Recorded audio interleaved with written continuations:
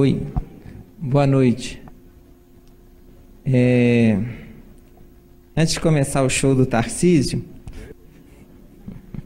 eu queria dar é, dois avisos. Um aviso para a turma de matriculada, é, os colegas matriculados no curso da pós-graduação.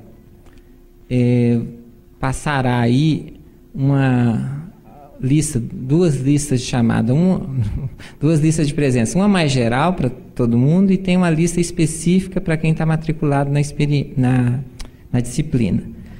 É, eu enviei é, para vocês anteontem, a partir da lista de e-mails que me foi, que me foi é, enviada pela Secretaria da Pós, é, enviei uma mensagem com o programa do curso, cronograma, modos de avaliação e tudo.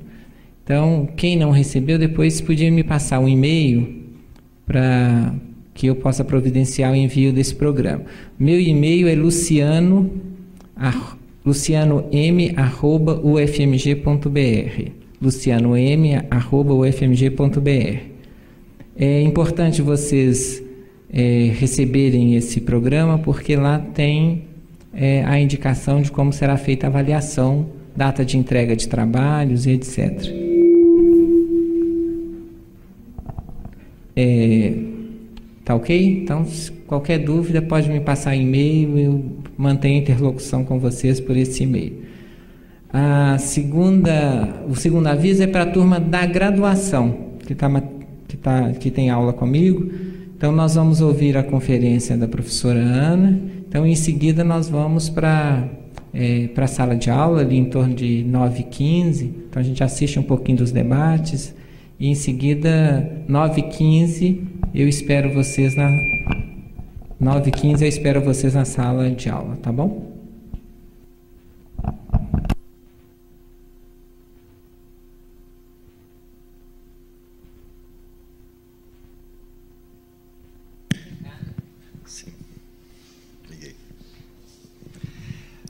Boa noite a todos e a todas, sejam bem-vindos e bem-vindas. Vamos começar a nossa segunda conferência do Seminário 2013 do nosso projeto Pensar Educação, Pensar o Brasil, que este ano tem como tema Educação, Trabalho e Renda. Bem, nós estamos aqui mais uma vez no auditório da Faculdade de Educação e também mundo afora através da rádio Webfi, que neste momento passa a transmitir a conferência para aqueles que não puderam vir ao auditório e estão nos ouvindo pelo computador através da rádio Webfi, coordenada pelo professor Emerson de Amorim, que está lá no, no estúdio, como sempre, desde 2007 apoiando o nosso projeto. E para você que está em casa, ah, você também poderá participar enviando perguntas, fazendo perguntas através do telefone 3409 5318. 3409 5318. E dando continuidade também a um movimento que nós iniciamos na primeira conferência. Também estamos transmitindo a conferência pelo Justin TV, no seguinte endereço. E vocês aqui peço que anotem também para divulgar e, na eventualidade de não poder vir ao auditório, agora com é, a, trans, a transmissão também pelo Justin TV, que tem este endereço. Justin, J-U-S-T-I-N, de nada, ponto TV, barra, FAI, F-A-E, underline, UFMG. Justin.tv barra FAI underline UFMG. Como sempre fazemos, vocês receberam um número na entrada e ao final da conferência, dos debates, nós faremos o sorteio de vários livros da coleção Pensar Educação, Pensar o Brasil. Já temos 17 livros nesta coleção e pelo menos mais três serão lançados agora no mês de maio no Congresso Brasileiro de História da Educação em Cuiabá. Também, como sempre, convidamos a vocês a ouvirem e a participar e a construir conosco o nosso programa de rádio. Na Rádio FMG Educativa, toda segunda-feira, das 8 às 10 da noite, ao vivo.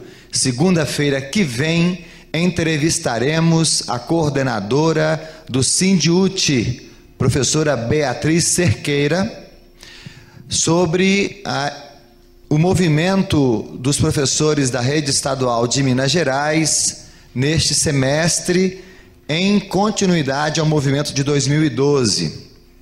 O que será que os professores estão organizando para o diálogo, se assim podemos dizer, com a Secretaria de Estado de Educação e o governo de Minas Gerais? Então, é a nossa convidada para segunda-feira próxima, a professora Beatriz Cerqueira. E mais um convite, especialmente, pedimos a vocês que divulguem entre os colegas, professores e professoras de educação física. Nosso grupo de estudos de educação física escolar promove agora, dias 8, 9 e 10 de maio, o sexto seminário do PROEF, que é este grupo de estudos, né? Pro Educação Física Escolar, cujo tema é Educação Física para que e para quem. Inscrições abertas, já selecionamos 58 trabalhos foram aprovados para apresentação no formato pôster, no formato relato de experiência e também no formato de comunicação oral. Então, vocês certamente têm colegas da área de educação física, pedimos que divulguem e, se precisarem, eh, eu envio todo o material de divulgação virtual para vocês. A página é prof, P-R-O-E-F-E, prof a sigla da Escola de Educação Física, que é uma coisa, né? EEFFTO, Escola de Educação Física, Fisioterapia e Terapia Ocupacional. As iniciais EEFFTO.ufmg.br. Depois posso escrever. Bem, é, um outro convite, ainda vocês podem participar do segundo e último dia, amanhã, deste belíssimo seminário Arquivos, Bibliotecas Especializadas e Museus Universitários, organizado aqui pelo Centro de Pesquisa, Memória e Documentação da FAI. O professor Luciano Mendes é um dos coordenadores desse centro e, e amanhã, sexta-feira, às oito e meia da manhã, temos a mesa redonda com centros de memória. Não é? É, então, centros de memória dialogando com experiências afim. Temos a presença da professora Carla Chamon, do Centro de Memória do Cefet, Minas Gerais, da professora Carolina Galzerani, do Centro de Memória da Unicamp, da professora Rita Marques, do Centro de Memória da Escola de Enfermagem da UFMG, e com a coordenação da professora Verona Segantini, da Escola de Belas Artes da UFMG.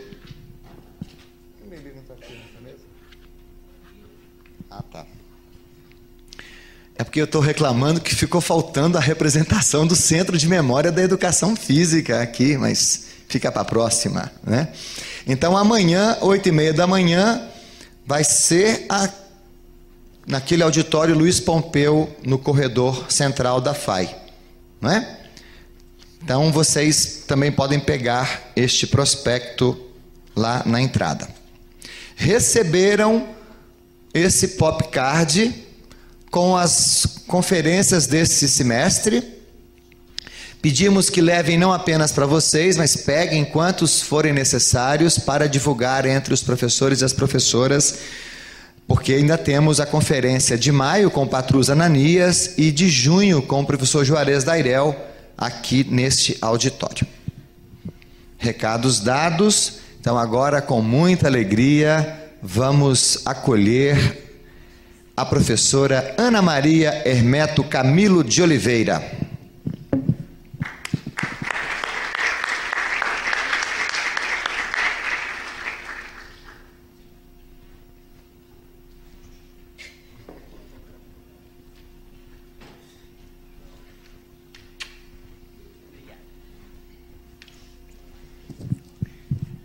Ana Maria Hermeto possui graduação em Economia aqui pela Federal de Minas, também o seu mestrado e o seu doutorado em Demografia foram realizados aqui na UFMG e ela é, depois de ter sido aluna de graduação, de mestrado, de doutorado, hoje ela é professora adjunta aqui, já é associada.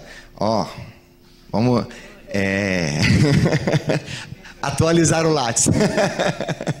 então, da Faculdade de Ciências Econômicas, aqui da UFMG, com uma larga experiência na área de demografia econômica, economia social e métodos quantitativos, com ênfase em estratificação social, avaliação de políticas públicas e microeconometria aplicada e é também bolsista de produtividade em pesquisa do Conselho Nacional de Desenvolvimento Científico e Tecnológico, o CNPq.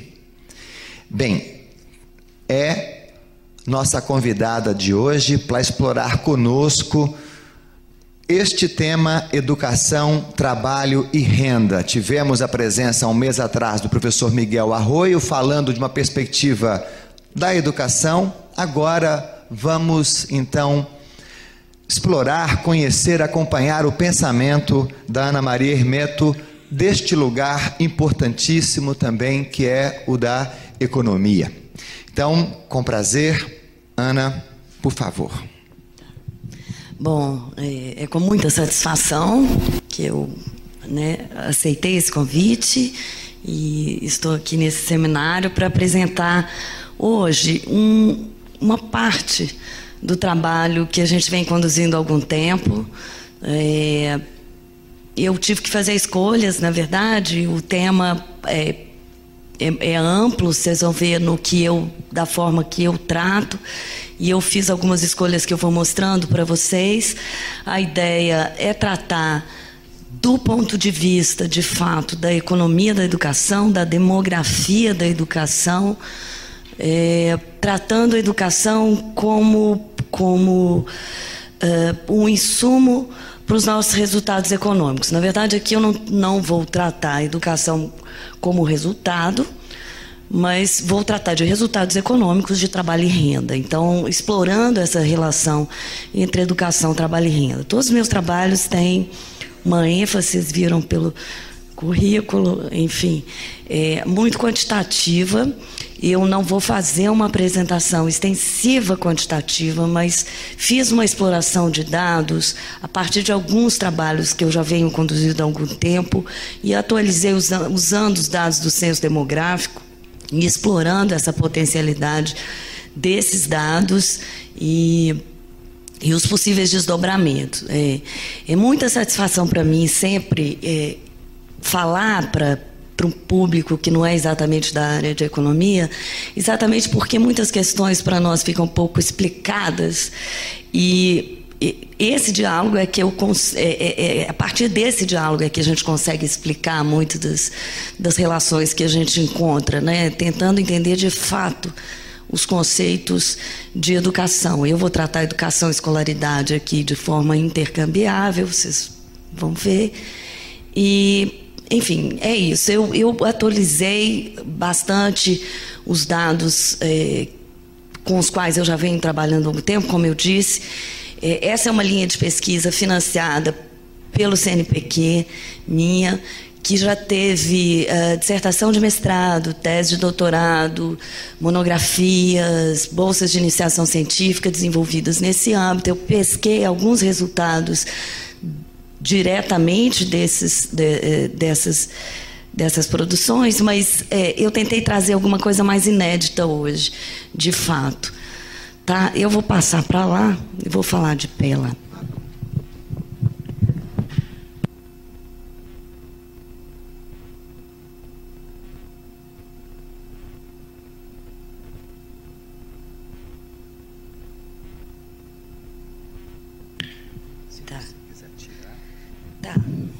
Acho que a princípio tá bom assim. Vamos ver.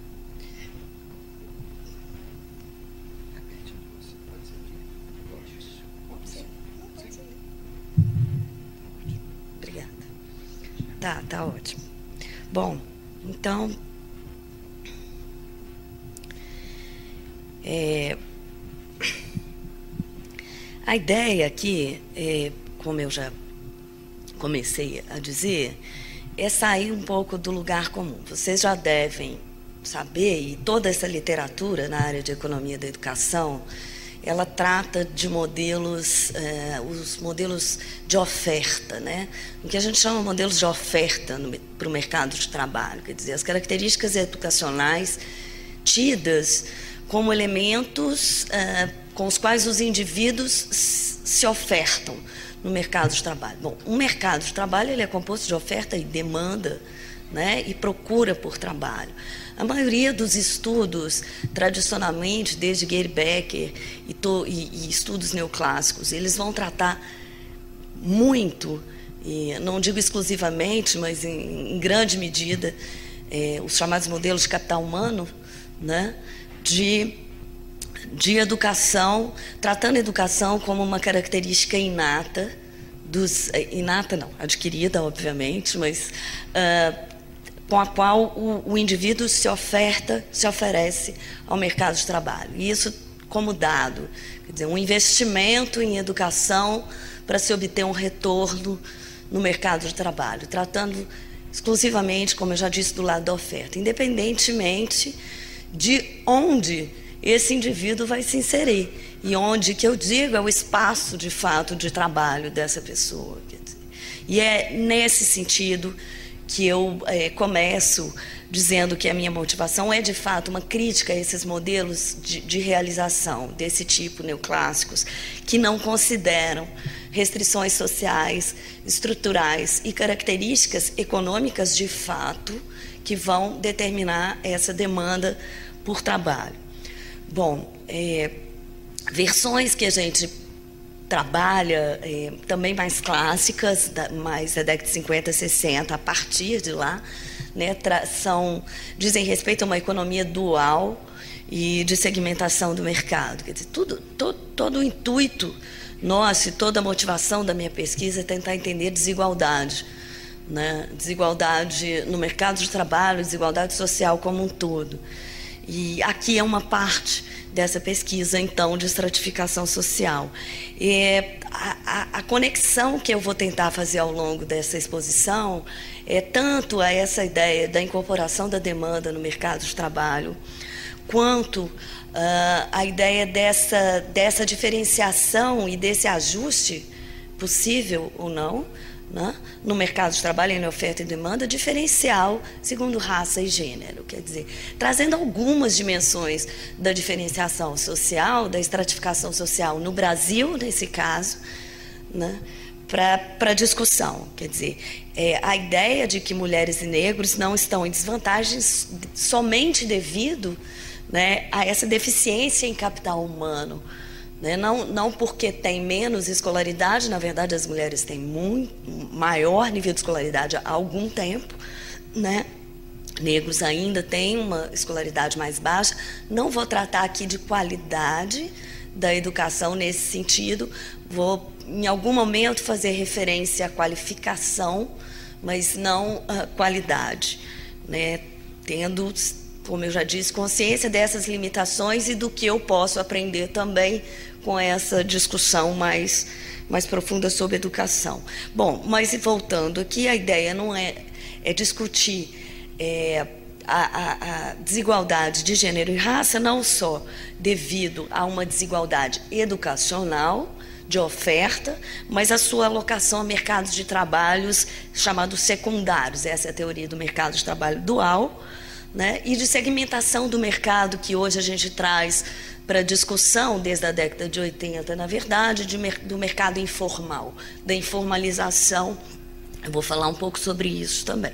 Bom, mercados de trabalho secundários são aqueles que oferecem piores remunerações né, e menores oportunidades de promoção.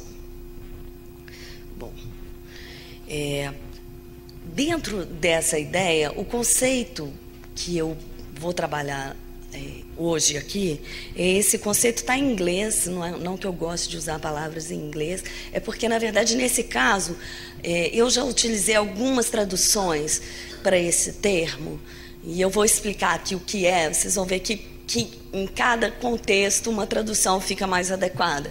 Na verdade, aqui o matching que eu estou tratando é exatamente o matching entre escolaridade formal, um nível de educação adquirido, formal, realizado, e um nível de educação que as ocupações exigem. Então, eu trago a oferta pelo nível de educação formal adquirido pelas, pelos indivíduos e uh, o lado da demanda pelo nível de educação exigido pelas ocupações. A gente diz que há um matching ou uma compatibilidade ou um casamento, né, uma combinação de escolaridade exigida pela ocupação e escolaridade ofertada pela ocupação. Então, a ideia do matching é exatamente esse matching, quando eu digo aqui um matching das características do indivíduo e do posto de trabalho, né? se a gente quer generalizar de uma forma é, maior. Bom, o contrário do matching é o mismatch, né? é o descasamento, é a incompatibilidade entre educação e ocupação. É essa terminologia que a gente usa. Então, a ideia de que existem restrições de acesso a determinados postos de trabalho e que nem o nível de educação formal seria capaz de superar. Bom, mais que isso, esse acesso à estrutura ocupacional não é universal devido a um processo de discriminação no mercado de trabalho. Eu vou tratar desse conceito de discriminação um pouquinho mais para frente. E ou porque essas características não são preenchidas pelo trabalhador. Né? Nesse caso, seria uma subescolarização. É, eu trato aqui de uma qualificação para ocupação como um dos aspectos né, para entrada e promoção no mercado de trabalho. E cada vez isso é mais é, importante. Bom, aqui eu só vou fazer um parêntese, também não tratei disso extensivamente aqui, em outros trabalhos eu já tratei é, disso, que é a questão demográfica de fato, que é a questão do envelhecimento populacional e das características é, que mudam nessa oferta dessa força de trabalho agregada, aqui eu não vou fazer uma análise agregada, mas uma, a discussão que está como pano de fundo é exatamente essa, né? com o envelhecimento da população, estreitamento da, da, da, da pirâmide etária, enfim, a gente é, passa a ter um processo diferente, tanto de escolarização quanto de inserção e manutenção no mercado de trabalho. Quer dizer, então, não ignorando todas essas questões demográficas, essas questões que a gente chama questões de coorte, né, que são entradas de coortes cada vez menores no mercado de trabalho, quanto a questão de ciclo de vida. Eu não, não vou tratar também dessa desigualdade ao longo do ciclo de vida. Eu fiz uma análise, claro, separada para os jovens de 15 a 24 anos, que é como a gente trata é, essa entrada, esse ingresso no mercado de trabalho. Toda a minha análise aqui que eu vou apresentar para vocês foi feita para indivíduos de 25 a 64 anos de idade. Esses cortes podem, né, em alguns outros trabalhos eu usei 59 o fato é que quando a gente vai para uma análise multivariada, tudo isso é controlado. Não vou mostrar nenhuma análise multivariada aqui, vou fazer só uma análise descritiva, mas só para não já adiantar que tudo isso é, é, levado em consideração quando a gente começa a analisar essa, essa ideia. Bom, então, eu traduzi, na maior parte aqui, vocês vão ver que eu traduzo esse mismatch como incompatibilidade entre educação e ocupação. E é claro que quando a gente pensa nisso, eu vou falar primeiro das teorias que estão por trás, das formas de mensuração de, incompatibilidade e mostrar alguns dados para vocês. Essa é uma discussão muito grande nos países desenvolvidos, muito grande. Toda, artigos das revistas de economia da educação desde a década de 70 já tratam dessa questão de sobreeducação, que é uh, os indivíduos se escolarizam muito, mas as ocupações exigem menos escolaridade. Quando a gente tem uma elevação geral do nível de escolaridade, ocupações de nível manual né, vão passar a ser exercidas por essas pessoas com esse nível de escolaridade. Qual a consequência disso? É um pouco nessa linha que é feita essa discussão para os países desenvolvidos. No Brasil, hoje em dia, embora eu vá mostrar para vocês que há características de sobre-educação em alguns casos, e é essa discussão que a gente vai fazer, é, o que se observa nesse processo de aquecimento da economia e de baixíssimas taxas de desemprego é exatamente o contrário. É uma sub-educação, ou seja, pessoas com um nível de escolaridade mais baixo né, exercendo ocupações que exigiriam um nível de escolaridade mais alto, exatamente porque a demanda por essas ocupações de nível de escolaridade mais alta está muito aquecida. Né, a procura por, essa, por essas ocupações está muito aquecida. Então, a, as pessoas passam a, a, a, se integrar, né, a se inserir nessas ocupações. Essa é uma discussão que a gente até já conversou é, no Ministério de Desenvolvimento Social, algumas pessoas que nos chamaram para conversar sobre isso, que a ideia dessa complementaridade entre esse, essas pessoas é, subeducadas e os programas de qualificação profissional. Eu vou falar um pouquinho mais disso mais para frente. Então, uma questão de política que a gente trabalha, e uma política de trabalho, né, a política de, de treinamento, qualificação profissional, é tratada como uma política ativa de trabalho. E a identificação desse potencial, desse público-alvo para essas políticas, é hoje começado a, a, a, ser tratado, porque essa é uma grande dificuldade, né? Quando vai se pensar políticas de qualificação profissional, mas quais cursos?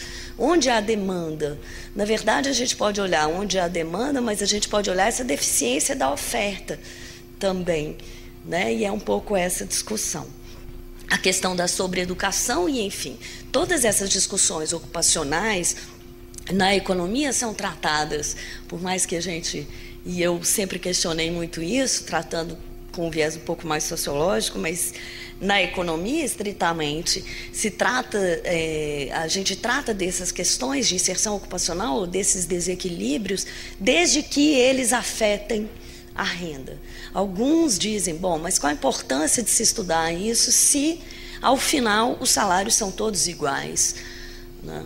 É, não importa se há sobre subescolarização ou se as pessoas estão adequadamente ou são compatíveis com as ocupações, se não há nenhuma consequência sobre renda. Essa é uma visão.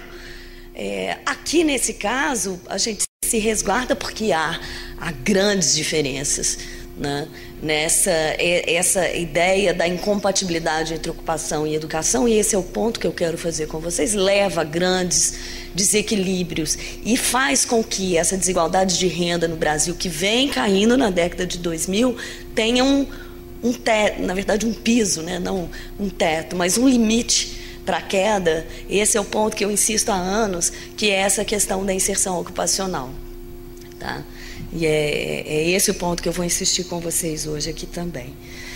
Bom, eu em algum momento pode ficar repetitivo aqui os slides, porque eu acabei falando um pouco antes, essa ideia né, da difusão e implicações sobre a renda do trabalho, desse mismatch, esses schooling mismatch, essa né, escolaridade, esse mismatch, esse descasamento entre escolaridade, entre educação e, e ocupação, como já disse, algumas traduções possíveis é, alguns dizem, dada essa possível falta de sincronia nessa relação entre sistema educacional e mercado de trabalho. Volto a dizer, essa discussão é uma discussão iniciada nos países desenvolvidos, onde o nível de escolaridade já é muito alto. Nós estamos nesse processo, né?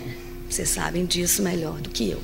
Bom, duas tendências gerais, então, caracterizam essa associação entre sistemas de, ocupação, de educação pensados de forma ampla e o mercado de trabalho, e os mercados de trabalho. Primeiro, esse aumento da oferta de trabalhadores, de indivíduos mais escolarizados. Aqui a gente pode pensar prospectivamente para o Brasil um pouco nesse sentido. A gente já vem tendo esse aumento da oferta, agora a questão para o Brasil é o quanto esse aumento da oferta de trabalhadores mais escolarizados contribui para a diminuição da desigualdade. Esse é o ponto. Se não contribui é porque tem alguma coisa que está impedindo e é exatamente esse o nosso ponto. Bom, uma outra tendência geral e essa é uma discussão grande dentro dessa literatura também, que é o aumento das exigências de qualificações do, dos trabalhos, ou seja, as ocupações, elas próprias, dada, dados os avanços tecnológicos, passam a exigir um nível de escolaridade mais alto. Essa é uma discussão grande, eu não coloquei aqui, mas que a literatura dessa área faz, que é exatamente isso, quer dizer, é sobre educação ou de fato não é porque a ocupação ela é dinâmica e os requerimentos educacionais passam a ser maiores né, nas ocupações específicas é, educacionais e de qualificação como um todo. A gente trata características ocupacionais e eu gerei uma base de dados para alguns trabalhos anteriores que são exatamente esse nível de, de escolaridade exigida. Volto a dizer, o debate é contratar é, esse nível de escolaridade exigido para ocupação se ele não é estanque, se ele é dinâmico, se ele varia ao longo do tempo. Né? Então, esse é um debate grande. É, eu não vou tratar especificamente dele, vou mostrar formas de se mensurar e como a gente vem tratando essas informações. Bom, embora então, o primeiro olhar, deixa eu voltar aqui, sobre essas duas né, essas duas tendências pareça com que elas se encaixam, quer dizer, tem uma exigência maior de educação, né, mas por outro lado também tem uma força de trabalho mais escolarizada, não é isso? Bom, mas há um desajuste, quer dizer, então à primeira vista parece que essas duas tendências seguiriam na mesma direção. Mas há um, um, um, desajuste dessas competências. Há ainda, e sempre nessas últimas décadas para as quais a gente tem dados, a gente verifica isso. E isso é verificado nos outros países também, com essas consequências econômicas que eu já mencionei. Então, esses descasamentos entre educação e ocupação, ou seja, vou, vou só repetir porque esse é o conceito que eu vou tratar né, o tempo todo: educação realizada e educação exigida. Né? Quando a gente vê é, é, propagandas dizendo, bom, é, essa, essa, ocupação exige ensino médio, isso é dado pelo mercado. É, a CBO, a, a, a, o Código Brasileiro de Ocupações, eu vou falar um pouquinho sobre ele depois, ele faz esse estudo também. Né? E, e vai se atualizando ao longo do tempo. Então, não é fixo esse nível de escolaridade, de experiência, de, de uh, exigência de força física, de, de competências e habilidades cognitivas, uh, habilidades de comunicação, enfim, tudo isso é tratado nessa caracterização dessa dinâmica ocupacional. Né? Bom, é, então esses custos econômicos eu já tinha dito. Primeiro, uma perda de recurso em trajetórias de escolaridade, às vezes desnecessárias, se você é sobre-escolarizado, porque você vai ter uma perda é, salarial, vou mostrar, mas também os custos inerentes ao não, não se cumprir né, esse potencial, e aí pensando de uma forma mais macroeconômica, é, esse potencial, coloquei potencial econômico da economia, bom, esse potencial da economia, né, devido a essa falta de capital humano adequado. Estou discutindo de forma mais teórica. É, como eu já disse, no mundo desenvolvido a tendência de sobreeducação e essas evidências de impactos salariais. Bom, aqui eu vou falar mais um pouco. Diferenciais substanciais de gênero e raça, vou falar adiante, mas essa, esse é um ponto fundamental. Quer dizer, nenhuma dessas dimensões do mercado de trabalho atuam isoladamente. A gente tem um descasamento entre educação e ocupação, mas isso é diferencial por gênero, por raça, por uh, local de residência, se a pessoa reside na, na, área urbana, na área rural, em regiões do país. É, segundo o setor de atividade que a pessoa está tá inserida, se ela está no setor de serviços, se ela está no setor da indústria, segundo o tipo uh, do que a gente chama posição na ocupação, que a gente vai diferenciar ocupações de nível alto, médio e baixo, separando os domésticos sempre. Vou mostrar aqui para vocês, então isso está incluído na análise também. É, e toda essa discussão, enfim, desdobramentos disso né, são, são muitos. Deixa eu voltar aqui. Então, essas diferenças substanciais de gênero e raça são as que eu vou enfatizar. Mas esses impactos salariais, quais são as evidências e quais são esses fatos estilizados? Controlando pela ocupação, os sobreeducados estão em melhor situação. Ou seja, quando a gente olha para a mesma ocupação, se eu olho para uma ocupação, vamos supor secretário, olha para, se eu olho para essa ocupação, os sobreeducados como eles têm um nível de escolaridade mais alto do que os seus colegas, e, em média, vejam que em média, eles vão ganhar mais. Bom, se a gente faz o raciocínio contrário e, e, e pensa, bom, dado um nível educacional, vamos supor ensino médio completo, né, é, os sobreeducados estão em pior situação do que os subeducados. Ou seja, por quê? Porque eles estão numa ocupação que remunera pior. Né? Então, são os dois lados da história, a gente pode olhar para os dois lados da história, e, e, é por isso que eu falei com vocês: a gente, quando a gente faz as análises mais quantitativas, a gente trata controlando por um e por outro e faz uma análise multivariada. Bom, essa evidência última que eu acabei de falar, e é nessa que a gente aposta e, e controla, então é como se a gente dissesse: olha, dada a ocupação, eu quero entender essas diferenças é, da, ao contrário, desculpa, dada a escolaridade, eu quero entender essas diferenças de renda. O que, que, é isso? Deixa, deixa eu falar um pouquinho mais sobre isso. É, é, a gente pegar, bom, as pessoas, se a gente olha para o mercado de trabalho como um todo, que tem ensino médio completo, por que todos não ganham o mesmo salário? Por que há diferenças salariais entre eles? Uma das explicações é essa, inserção ocupacional em uma ocupação que não exige essa escolaridade. Como eu já falei das outras aqui, as outras dimensões são colocadas. Né? Bom, essa ideia de que não é só o nível de escolaridade que garante o salário, ela não se encaixa nesse arcabouço de teoria, da teoria do capital humano. Né? É uma teoria neoclássica de capital humano, que eu já falei com vocês no início, que os recursos do lado da oferta, eles são pressupostos para explicar esses resultados salariais.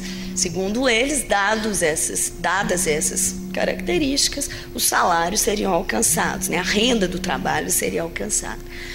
Só repetindo aqui, né? não somente essas variáveis de oferta, mas a alocação também importa.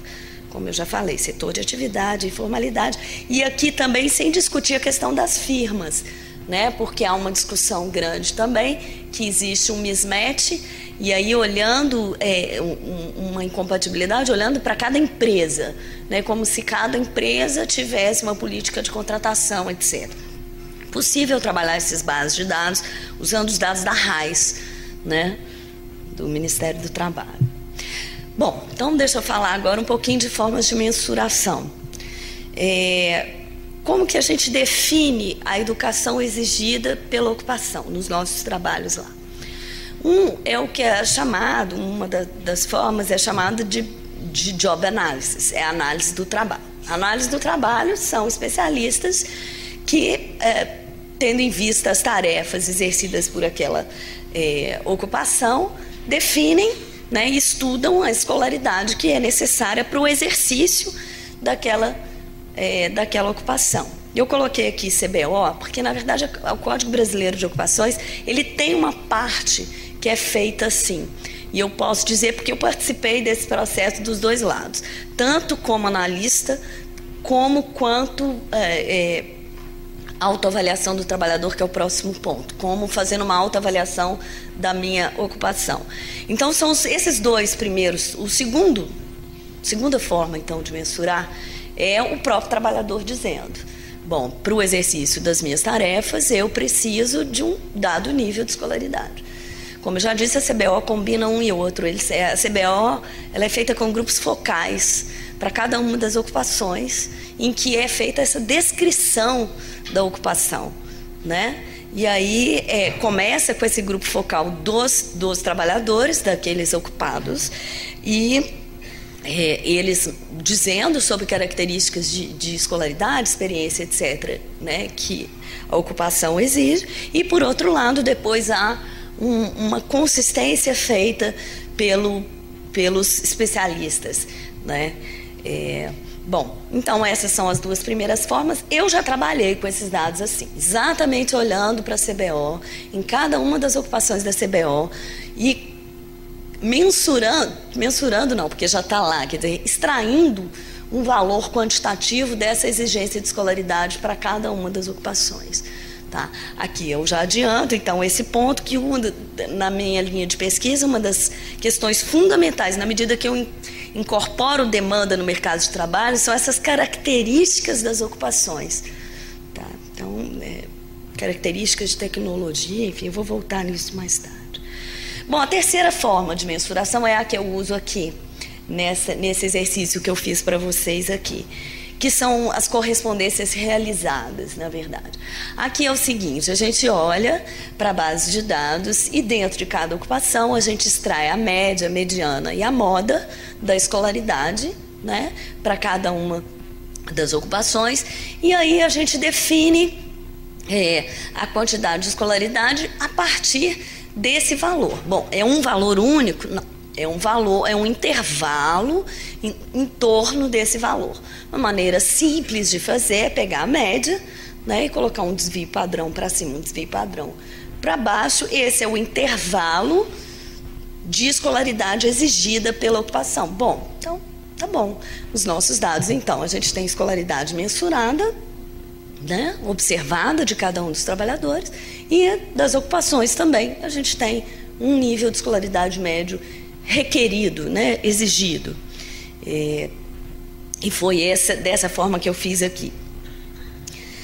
Bom, um e o dois são mais comparáveis, como eu já falei. É, eles são mais comparáveis, inclusive, entre países. A gente já fez uma comparação é, com, com as classificações da OIT e com a classificação americana, mas menos ao longo do tempo. É, no caso do, do 3, que é esse, né, ele muda muito ao longo do tempo, dessa mensuração que é feita observando a base de dados. Bom, esses diferentes métodos de mensuração, e por que, que a gente insiste nisso aqui? Porque a forma com a qual, e a gente nos métodos quantitativos, quando tem uma ênfase muito grande nisso, quer dizer, a forma pela qual você mensura, você mede, a gente está sempre, né, economista está sempre medindo né, transformando em números. É, e a forma com a qual a gente transforma em números essas informações, que podem ter um caráter qualitativo muito maior, a gente reconhece isso, mas o fato é que a gente precisa de mensurar de alguma forma, elas podem levar a diferentes resultados.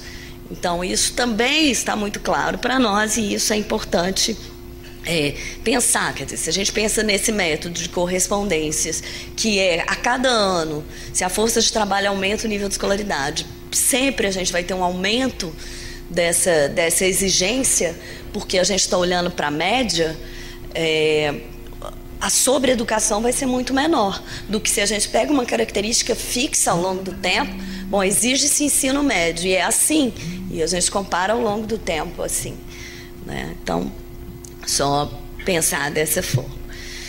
Bom, é, outros fatos estilizados, já falei aqui, é, sobre educação, discrepância escolaridade, retorno à escolaridade exigida é maior que o retorno à escolaridade alcançada, aí é essa questão da demanda, quer dizer, ocupações que exigem um nível de escolaridade mais alto remuneram melhor, né? O retorno à sobreeducação é positivo e a, a subeducação é negativo, vou mostrar, controlando pelo nível de escolaridade exigido, ou seja, pela ocupação. Isso eu já tinha falado. Bom, é, aqui são mais fatos estilizados, estou um pouquinho preocupado com o tempo aqui. Eu queria ir logo para os dados que eu estimei. é, porque todo, tudo isso aqui que eu estou falando, esses fatos estilizados, a gente vai acabar vendo nos dados que eu calculei. Os retornos sobre a escolarização são menores que, que o retorno à escolaridade exigida, já tinha falado, capital humano também já tinha falado. As explicações teóricas eu já falei também um pouco, é, a gente subdivide né? Aqui são explicações teóricas para o matching e para o mismatch. Né? Uma das linhas é a linha de, de busca e matching, é o searching matching, que são esses atritos associados ao processo de matching, né? nessa, nessa busca por trabalho, a teoria do capital humano, que eu já mencionei, né? e aqui pensando que o, o trabalhador pode acumular habilidades né, que permitam que ele se mova para um trabalho melhor mais tarde na carreira, vou falar sobre isso depois. E esse, esses modelos de, de designação ou atribuição, né, com essa importância da demanda no mercado de trabalho, que é muito a linha com a qual a gente trabalha aqui. Bom, diferenciais de gênero e raça. Vou só introduzir essa dimensão, montei alguns slides tratando disso. A maioria dos meus trabalhos são sempre com essa divisão de gênero e raça, também simplificadora, dado o limite dos dados, das significâncias estatísticas dos dados, homens e mulheres, brancos e negros, juntando na categoria de negros, eu sei das limitações, é, pardos e pretos, autodeclarados, assim pela, pelo IBGE, né, pelas pesquisas do IBGE. Bom, então, é, qual é a pergunta aqui, o que está por trás, é esse impacto dessa incompatibilidade sobre os diferenciais de renda do trabalho, nesse caso, né, por gênero e raça. Bom, as mulheres tendem a ter mais educação formal, elas estão muito mais é, sobre escolarizadas do que os homens, isso há muito tempo, eu vou mostrar os dados para 2010. Esse processo, processo de incompatibilidade tende a contribuir cada vez mais para esses diferenciais. Bom, se a escolaridade das mulheres está maior e isso não, não se reflete diretamente no diferencial de renda, é, essa é a pergunta, e a incompatibilidade é um dos aspectos importantes. Da mesma forma, por raça. Por, por raça, num processo ainda um pouco mais incipiente, porque o nível de escolaridade dos negros ainda é mais baixo. Né?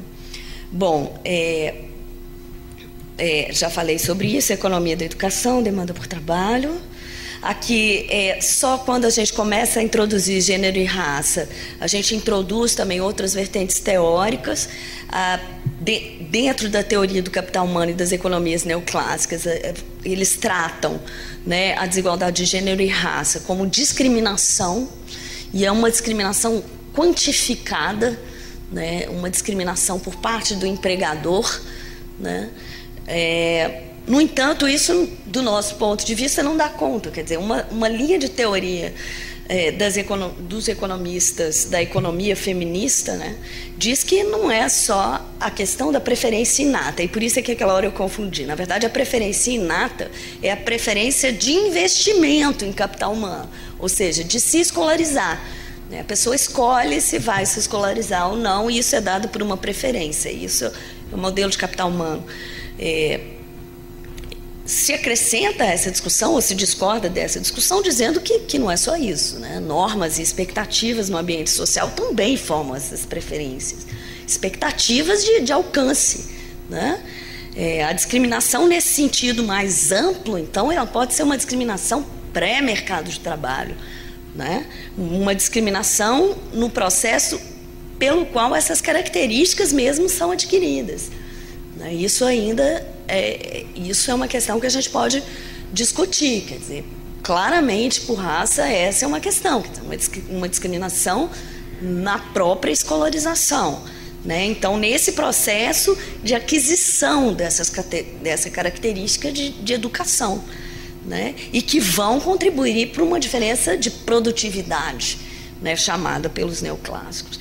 É, então, discriminação na educação, discriminação na contratação, discriminação na promoção, elas vão todas essas, todos esses tipos de, de, de discriminação encarecem, né?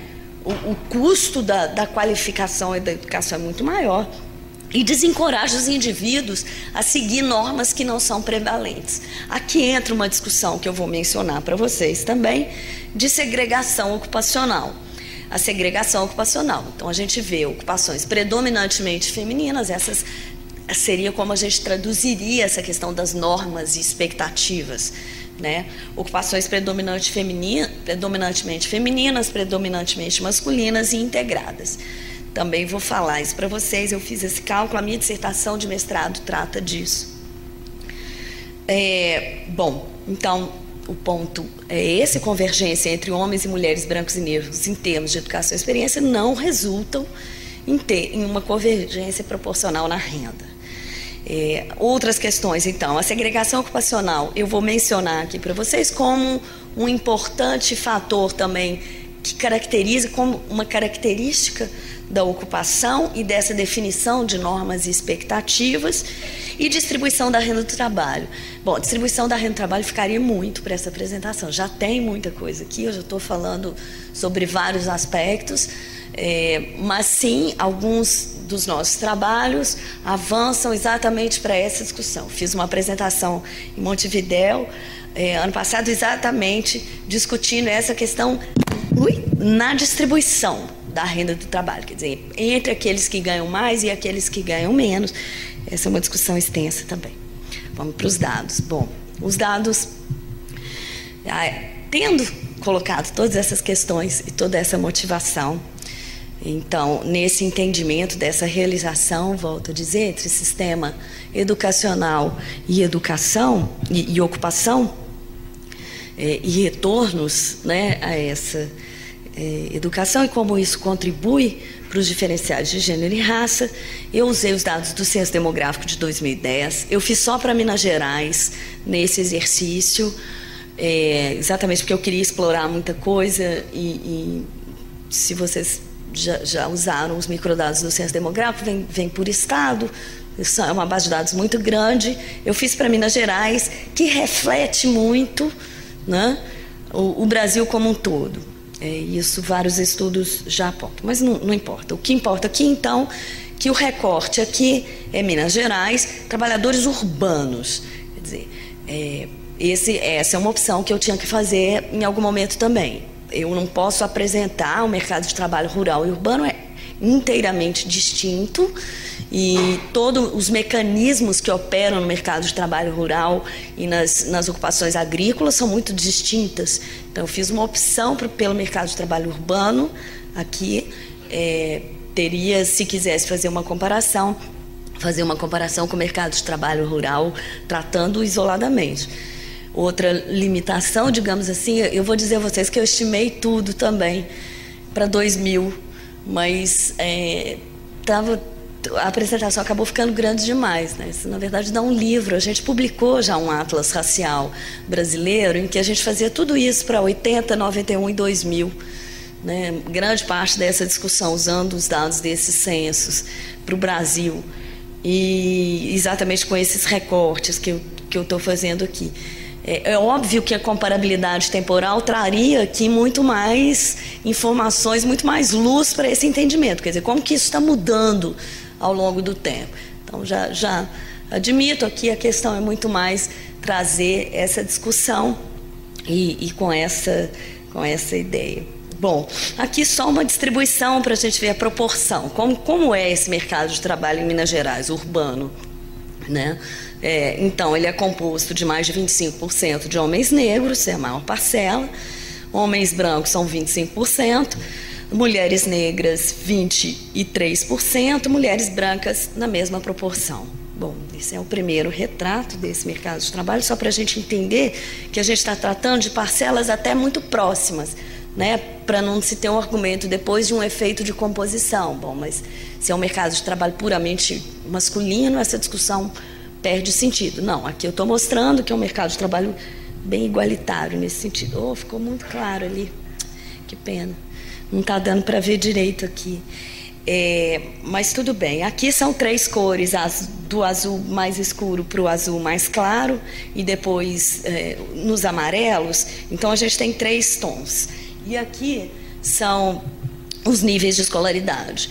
né, divididos entre analfabetos, que é o azul, então do menor para o maior, analfabetos, básico incompleto, básico completo, básico aí até 4 anos de idade, então o básico incompleto é 1 a 3 anos de estudo, básico completo 4 a 7, fundamental completo 8 a 10, é, médio completo 11 a 14 anos de estudo e superior completo 15 anos ou mais de estudo. Então, partindo dessa definição, a gente faz a subdivisão e aí basicamente para mostrar que os negros, né? E aí a diferença de, de raça é muito mais proeminente do que de gênero.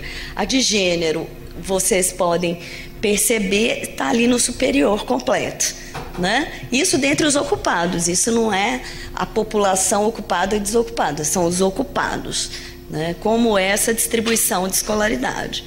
Então, é, dessa forma, né? esse diferencial, então, que existe já nesses atributos pessoais segundo gênero e raça. Né? Bom, e aí os meus gráficos que eu fui montando são sempre nessa linha. Bom, a gente tem um diferencial de acesso à escolaridade, de, de acesso, não, desculpa, de realização da escolaridade. E aqui a gente também tem esse diferencial de renda. Tá?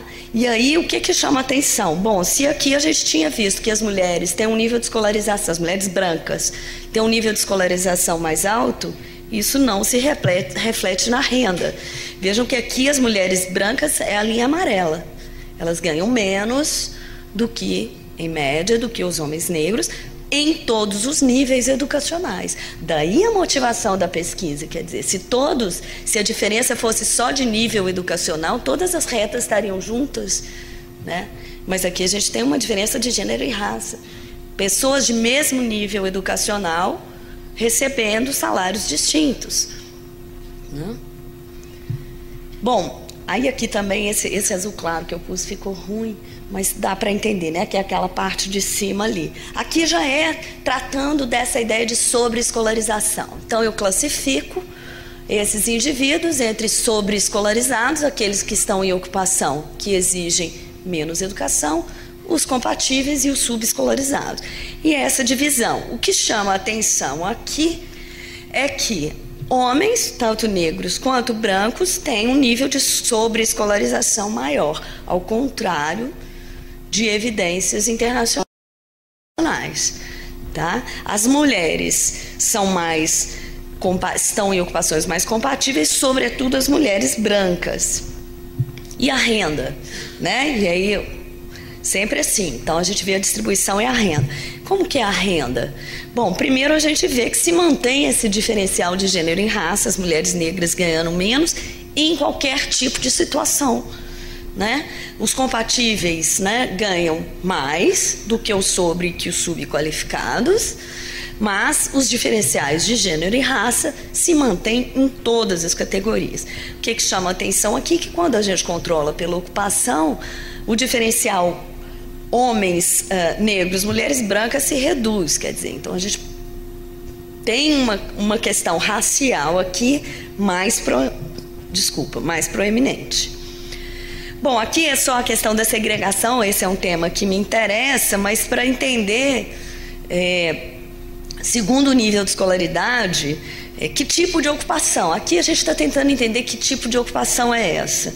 Então, o que, que a gente vê? Por exemplo, aqui sem distinção de gênero e raça, porque a gente está tratando de segregação por sexo, vou explicar. Olha para a coluna do superior completo. O que está mostrando? Que os indivíduos como um todo, homens, mulheres, brancos e negros, com nível, com nível superior completo, se, em, em, se inserem, em maior medida, em ocupações predominantemente femininas, aquele azul clarinho de cima. O superior completo nesse azul claro de cima. Por outro lado, as ocupações predominantemente masculinas estão nos níveis de escolaridade mais baixos. Já afirmo para vocês que as predominantemente femininas, nesses níveis de escolaridade mais baixos, estão dominadas pelas ocupações domésticas e eu vou retratar isso já. Antes de retratar essa divisão de categoria ocupacional, eu estou mostrando aqui a renda do trabalho. De novo ficou claro. Não, até que ali está melhor. Aqui não está dando para ver nada. A, a, predominantemente feminina Vocês lembram que é nível superior completo? Que elas têm uma concentração, desculpa. Eu subi, eu, eu tô descendo. É, as predominantemente femininas estão na superior completa. No entanto, olha a renda, esse azul claro. As predominantemente femininas ganhando muito menos. Então, esse é um aspecto fundamental para uma análise multivariada posterior. A composição por sexo dessa educação e que nos dá as pistas daquelas normas né, e expectativas. Aqui é ocupação, tipo de ocupação que a gente chama de categoria socioocupacional. Se são empregadas domésticas, que é aquele clarinho, amarelo claro, né? Ocupações manuais, médias e superiores, e aí mulheres negras, né, predominantemente é, em relação às outras, em ocupações domésticas, mulheres brancas em alguma medida, e mulheres brancas muito em ocupações de nível médio, né? é, homens negros predominantemente em ocupações de nível manual. Bom, e aí então aqui são cada uma das variáveis. Novamente aqui a renda. Olha, é, esse gráfico ficou contrário, né, partindo do superior para o doméstico, mostrando também os diferenciais de gênero e raça para qualquer nível educacional. Então vocês estão vendo que a minha insistência aqui é mostrar, olha, não é só educação né? Para qualquer nível, para qualquer divisão que a gente faça de características ocupacionais, a gente tem diferencial de renda. É, essa que é a ideia. Aqui é só, eu vou passar muito rápido, aqui são é, divisão setorial, né? Só chamar a atenção que aqui é um diferencial de gênero muito maior, então uma segregação setorial. Mulheres concentradas em serviços sociais e pessoais e homens concentrados em construção civil e serviços distributivos. A gente divide um pouco os serviços aqui, né, porque os serviços hoje em dia são muito grandes. E a administração pública aqui retratada também, como já seria pouco de se esperar, mais paritariamente, né? em termos de distribuição. Agora, em termos de renda, também não vou passar por cada um dos números, depois eu disponibilizo essa apresentação para vocês aqui é, o ponto é só mostrar um diferencial. E aí sempre vê, comparem para facilitar homens brancos com mulheres negras. Para qualquer setor que a gente olhe, há um diferencial. Né? Para qualquer setor. Inclusive a administração pública. Aí vai dizer, mas bom, mas como que isso pode? É porque as ocupações em que eles estão inseridos são diferentes, né? Aqui é só uma questão de formalidade, trabalho formal e informal, também no mesmo sentido. Estou querendo passar um pouquinho para frente, já são oito mil. Bom, é, aqui eu só peguei algumas é, ocupações específicas para ilustrar. Então, as mulheres negras estão concentradas nessas ocupações que a gente chama na CBO ocupações a três dígitos, né, que são as ocupações específicas. E aí eu fiz isso para cada um deles. É, e aí a gente vê que o diferencial é muito mais de gênero também, com algum diferencial de raça diferencial de raça mais gritante entre homens negros e uh, homens brancos, né? Que o leque de, uh, de ocupações em que essas, esses grupos estão concentrados. Então, está aqui homens brancos e homens negros. Essa planilha que eu quero mostrar para vocês, pus aqui planilha, que não ia caber aqui, também é, é, é está pequeno, é muito numa questão de motivação aqui também. Esse é um tema que eu acho que dá uma outra palestra inteira, mas também no intuito um pouco de explorar e, e, e aguçar um pouco o interesse também de vocês e ouvir de vocês o quão né, é interessante para vocês esse tipo de dado. O censo demográfico, não sei se vocês sabem, tem a formação de nível superior que a pessoa tem. Então ele declara qual curso superior ele fez. E aí, é, vocês estão vendo que o primeiro que está aqui é ciência da educação, então desse pool de, de ocupados urbanos em Minas Gerais, 20% fizeram cursos de ciências da educação, de, desses uh, de nível superior, né? Claro, esses ocupados de nível superior. Então, o que, que eu fiz aqui? Eu fiz primeiro é, onde as mulheres negras, brancas, homens brancos e negros estavam predominantemente é, concentrados, ou seja, né? aqui, olha, por exemplo, vou só mostrar esse dado das ciências da educação, mulheres negras é, 38% das pessoas que falaram que fizeram cursos de ciência da educação eram mulheres negras, 56% eram mulheres brancas, 2,1% homens negros e 2,4% homens brancos. Eu é, destaquei de vermelho aqui onde há uma maior concentração de cada grupo, né? Então é, é nesse sentido. Olhando assim, e é claro, óbvio, a gente não vai entrar em todos, a questão aqui é a seguinte: olha como é diferente por gênero. Né? A diferença de gênero é gritante. Então, se a gente olha onde estão os vermelhos, né, os destaques em vermelhos que eu pus para um e para outro, é, para homens, eles são mais próximos, não que estejam idênticos. Há um diferencial de raça também, mas o diferencial de gênero é muito mais. É, é, saliente, né? A gente consegue salientar muito mais. Volto a dizer que era só uma questão de motivação. O que, que a gente pode fazer além disso? E aí foi o que eu fiz. Incompatibilidade, quer dizer, aí por curso, por curso superior, qual, em qual curso superior, né, dado o curso superior, em qual deles é, há uma taxa maior de incompatibilidade, ou seja, as pessoas vão se ocupar em ocupações de nível médio, manual e doméstico. A pessoa forma, né? E não vai exercer uma ocupação que exige nível superior. É essa pergunta que está sendo respondida aqui. O que, que eu fiz aqui? Eu marquei em azul, e aí o, o contrário.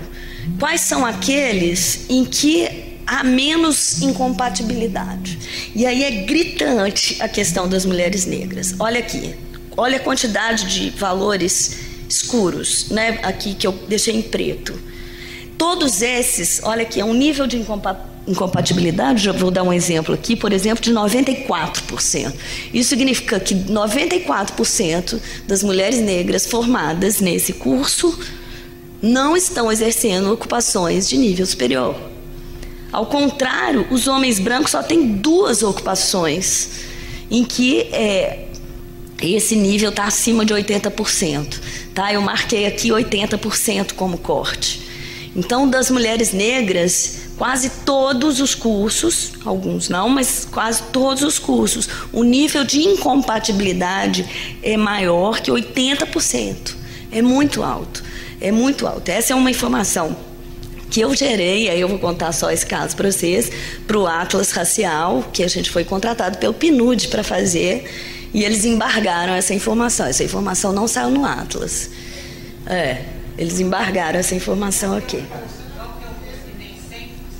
Não, pois é, aqui está assim, esse, esse aqui eu achei até que, que eu estranhei um pouco esse 100% na ciência da educação por um motivo simples para mulheres negras, ou seja, significaria dizer que todas as mulheres negras formadas em ciência da educação, né, não estão em ocupações de nível superior. Aqui eu quero salientar, por mais que seja uma amostra muito representativa, eu tenho os números desse tamanho da amostra, para vocês verem que é muito grande mesmo, é, eu acredito que se eu fizer Brasil, isso aqui vai diminuir um pouco. Eu tenho esses dados para os outros anos, posso mostrar. Quando é 100%, eu desconfio um pouco. Mas, bom, então não tomem como 100%, mas tomem como mais 90%, né? o que é muito alto é, o que é muito alto do meu ponto de vista e acredito que de vocês também. Né? E isso só acontece com mulheres negras. Olha os outros, 4%, por isso que eu estou achando que esse dado aqui está 4% homem, é, mulheres brancas, homens 5%, é, homens brancos 4%, e todas as mulheres negras, esse dado. Mas enfim, os outros estão muito consistentes. Esse foi o único que eu achei estranho. Oi. É, é o que o dado está falando. Eu posso até puxar a planilha aqui que eu gerei, essa informação que tem. Porque como que eu classifiquei se é incompatível ou não? Se não está em uma ocupação de nível superior. Tá? Então, as ocupações de nível superior, ocupações de nível médio, ocupações de nível manual e ocupações de nível inferior, de nível doméstico, desculpa, não inferior, desculpa doméstico, manual, médio e superior. Superior como nível superior. A definição dessa categoria ocupacional, ela não se baseia só em educação. É, só no nível de escolaridade. Ela, se, ela, por exemplo, ela inclui é, dirigentes. É, e esses dirigentes e proprietários, eles, eles não estão incluídos porque tem um nível de escolaridade alto, mas porque tem um nível de, de controle do trabalho grande. Então, ela combina essas duas coisas.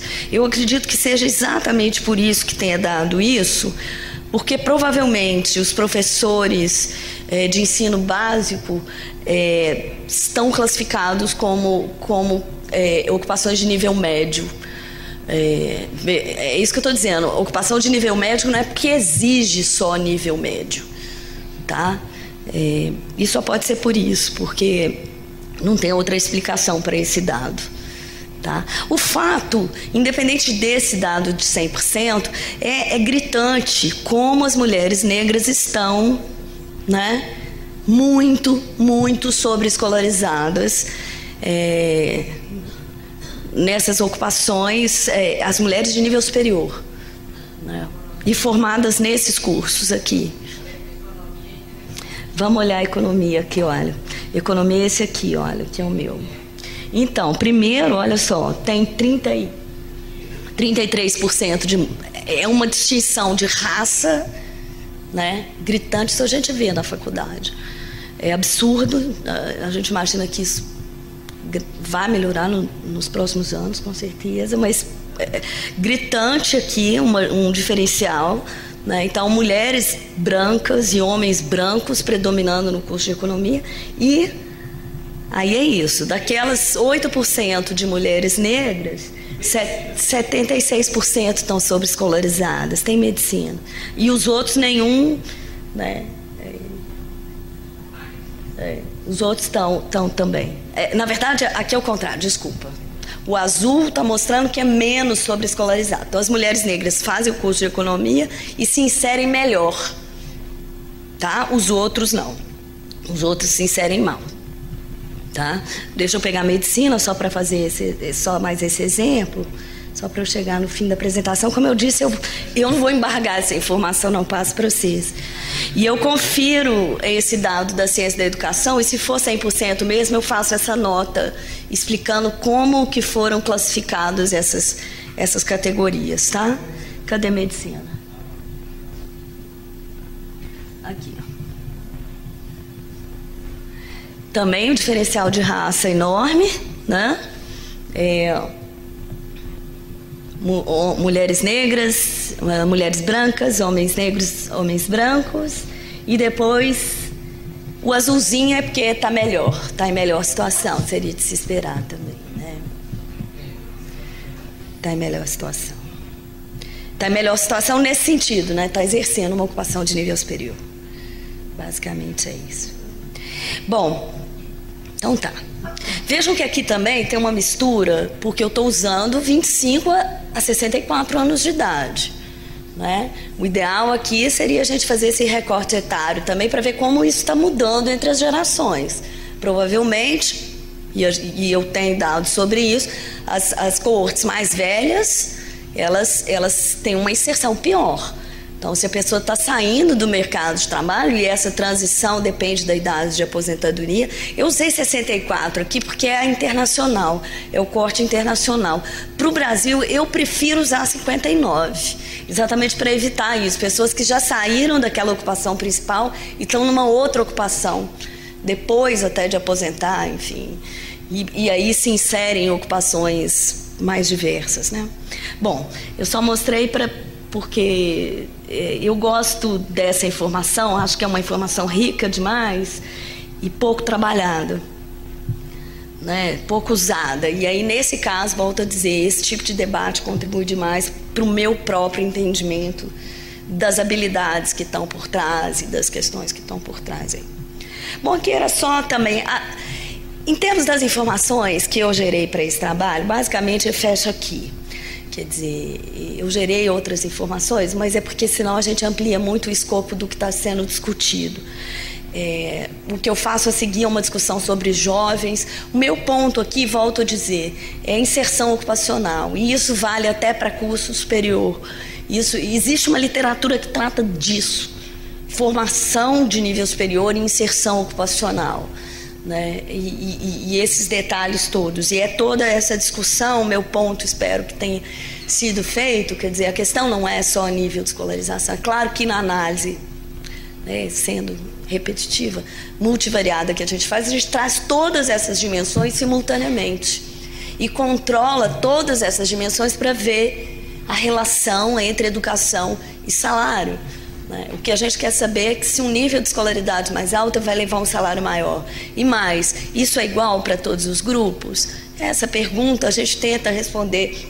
Esses são os insumos que eu uso para responder essa pergunta, mostrando que não é só a escolaridade. Né? A escolaridade depende, né, o nível de escolaridade alcançado, realizado, vai depender, o, o, retorno a essa escolaridade vai depender da inserção ocupacional em todas essas dimensões que eu passei para vocês. Aqui era só uma questão de ingresso, para eu já tinha falado com vocês, né, questão ingresso no mercado de trabalho, pensando que o mercado de trabalho de jovens é muito distinto também, né? E aí aqui um, é, só uma caracterização de defasagem, aquela distorção idade-série, informalização, é, frequenta a escola. Mais interessante que esse é esse aqui, que é a forma com, como a gente trabalha isso na economia do trabalho e da educação. Se é feito simultaneamente, se ele trabalha e estuda, só trabalha, só estuda, ou não trabalha nem estuda. Eu aqui subdividi 15 a 19 anos e 20 a 24, porque é muito distinto. Vou só chamar atenção na diferença de raça também. Né? Se 15 a 19 a gente tem mulheres né, só estudando em maior medida, né? essa proporção cai muito é, em 20 a 24 anos. Né? Vocês veem que o 100% é assim.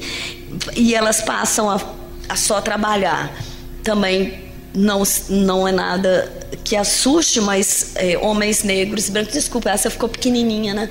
Mas era só para mostrar, assim, esse diferencial. Oi, tá dando. Ah, é, eu esqueci disso. É por isso que tá assim. Ah, não, do começo, espera aí. Eu desço aqui, rapidão. Eu esqueci de voltar depois que eu fui para planilha, você tem razão. É isso aqui, né? Então, aquilo da defasagem, formal, frequente escola, e aqui, essa divisão estuda, trabalha, aqui só para mostrar. E aí, como eu já disse, eu não desenvolvi tanto aqui, porque aqui faz menos sentido a gente observar a renda. Aqui é muito mais a questão de como é feita essa inserção e aquela ideia que eu tinha falado com vocês dessa discriminação pré-mercado de trabalho, quer dizer, essas condições prévias à própria inserção ocupacional e realização dessa capacidade né, de capital humano, de, de, educação que a pessoa adquiriu. Quer dizer, depende muito. As características de ingresso no mercado de trabalho, elas são muito definidoras da mobilidade posterior.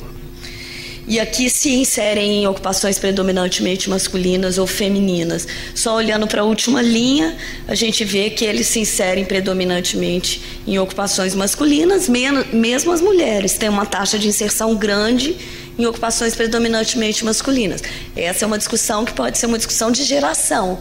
Quer dizer, a gente tem um intercâmbio muito maior né, de mulheres em ocupações masculinas e homens em ocupações femininas para as coortes mais jovens. Esse resultado aqui eu acho que eu não vou discutir não, porque ele, ele é longo. Aqui é só para mostrar é, como a mudança ao longo do tempo na, na, na, segregação ocupacional se reflete numa mudança ao longo do tempo no hiato de, de renda. É.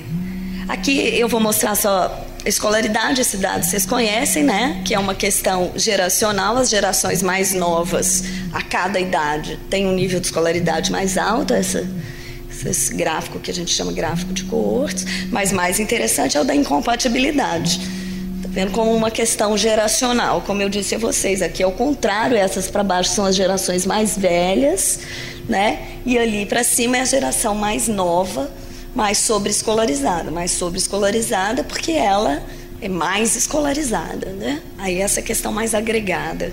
E esses últimos resultados, desde aquele gráfico que eu falei que não ia explicar, esse aqui são de outros trabalhos que eu fui pensando. Esse eu apresentei nos Estados Unidos semana passada, esse aqui. E esse, esse é mais antigo, assim. Bom, E aí é isso. A minha pesquisa continua trabalhando com essa questão das características ocupacionais. É, eu fiz com o Eduardo Albuquerque, Luciano falou que conhece, que é um colega meu. A gente tratou de tecnologia nas ocupações, que é uma discussão muito grande também, esse nível tecnológico aumentando a exigência educacional. Então a gente gerou essas características. Essa é uma produção muito original nossa dessas variáveis tecnológicas que usa muito a, a discussão da economia da ciência e tecnologia, e natureza da tarefa. A gente volta a dizer aqui, estou só mostrando a linha de pesquisa minha por onde caminha, né, nesse sentido. Então, é, introduzindo essas características tecnológicas, habilidades, todas essas, essas variáveis eu tenho mensuradas para todas as ocupações. Né? Então, podem ser cruzadas com todas essas variáveis de gênero, raça, escolaridade, enfim. É, aqui ainda a questão da incompatibilidade, acho que eu já falei muito sobre isso, varia com ciclos, é um, um piso para queda, padrão das coortes, ciclo de vida é, diferente segundo as diferentes formações universitárias. Não falei das que, da questão das famílias, tem uma linha de pesquisa que trabalha com isso dentro das, do domicílio, em decisões domiciliares. É a questão da tecnologia e a gente está numa pesquisa agora também tratando de mobilidade. Né? A pesquisa mensal de emprego permite que a gente faça isso. A gente acompanha a pessoa ao longo do tempo e vê o que aconteceu com ela em todas essas dimensões. É, adicionalmente a isso, a discussão de avaliação de política, como eu já tinha mencionado, é, a política de qualificação profissional sendo entendida como uma política de complementaridade à educação, dada essas exigências ocupacionais e a questão da distribuição de renda. Gente, obrigado, obrigado pela atenção, era isso.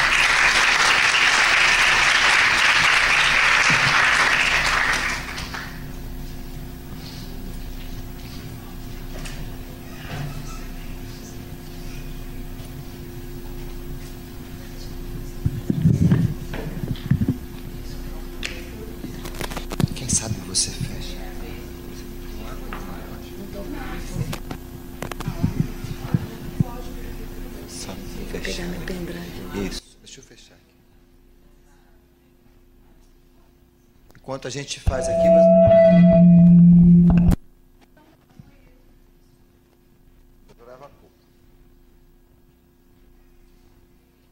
Preparem as perguntas, pessoal. Ana.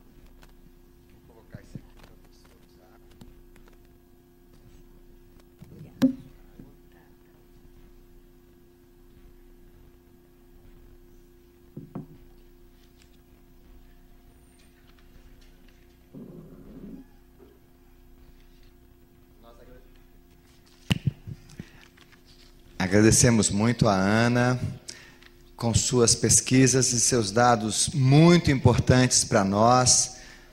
É uma maneira de nos desafiar a pensar essa relação educação com a contribuição da economia e pensar os impactos da escolaridade na inserção das pessoas no mundo do trabalho. Então, acho que são questões importantíssimas para nós. E agora então abrimos para o diálogo com ela. Quem desejar fazer uma questão, uma reflexão, é só vir aqui. A Lê está com o microfone, até pode circular pelo auditório para nem haver deslocamento. Fiquem à vontade, nós temos ainda um tempinho aqui para esse diálogo e já tem várias pessoas. Não é? Enquanto chega o microfone, dizendo que o DVD com a conferência da Ana Hermeto estará disponível já a partir dessa semana na sala do professor Luciano. Para isso, tragam um DVD, dois, né, Leide? Tragam dois e levem um. Eu não sei por que dois não, mas enfim, estabeleceram que é para trazer dois. Ah, por causa do tamanho, está explicado. E aí vocês poderão levar e depois também usar nas escolas, enfim, nas disciplinas que, que, que realizam, para o debate se estender para além daqui. Eu peço às pessoas que se identifiquem para a Ana e para todo mundo. Por favor. Boa noite, meu nome é Gustavo, eu sou aluno da pós-graduação. É, eu queria agradecer e parabenizar pela sua apresentação, ela tem dados realmente muito interessantes e eu gostaria de saber se você tem, é, você falou no início é, sobre as, a, a, pirâmide né, da, da, da faixa etária, né, que nós estamos envelhecendo. E se você tem já assim alguma ideia ou algum trabalho já envolvendo essas mudanças, né? Assim sobre a inserção do é, idoso, né? Que a gente acho que nem considera mais idoso. O que, que acontece com ele, né? Se ele atualmente está se reciclando, se ele está se reeducando, porque é, os conhecimentos é lógico que não param, né? E se ele está sendo hoje mais valorizado ou menos valorizado, né? Então ele tem mais experiência mas ao mesmo tempo é, ele não tem essa tecnologia. Né? Ele teria uma vivência mais é, humana no sentido de, de, de, habilidade, mas no sentido técnico talvez ele tivesse que se reciclar. Tenha já assim alguma ideia do que, que tem, vem acontecendo, né? E isso com certeza vai mudar mais ainda.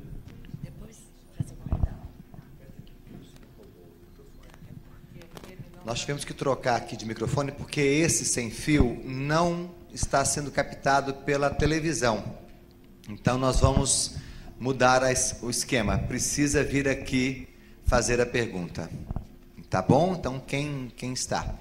E quero dizer para você que está ouvindo em casa para telefonar e fazer sua pergunta pelo telefone 3409 5318.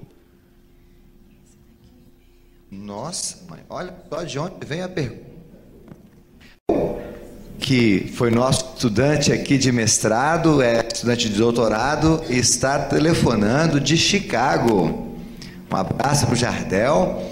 E ele então faz a seguinte pergunta. Deixa eu ver se eu traduzir a letra do Hércules aqui primeiro, né? Quem sabe alguém faz primeiro. Eu... Jardel, segura aí, Jardel. Hércules, aproxime-se, meu querido. Deixa eu. Vai lá. Posso fazer? Vai, vai. Então, eu sou Luciano aqui do, do, do projeto. É, Ana, eu, eu gostei muito do, da sua exposição, dos dados que você nos trouxe. Reforça algo que na, na conferência passada nós discutimos aqui, que é justamente a necessidade de uma aproximação interdisciplinar.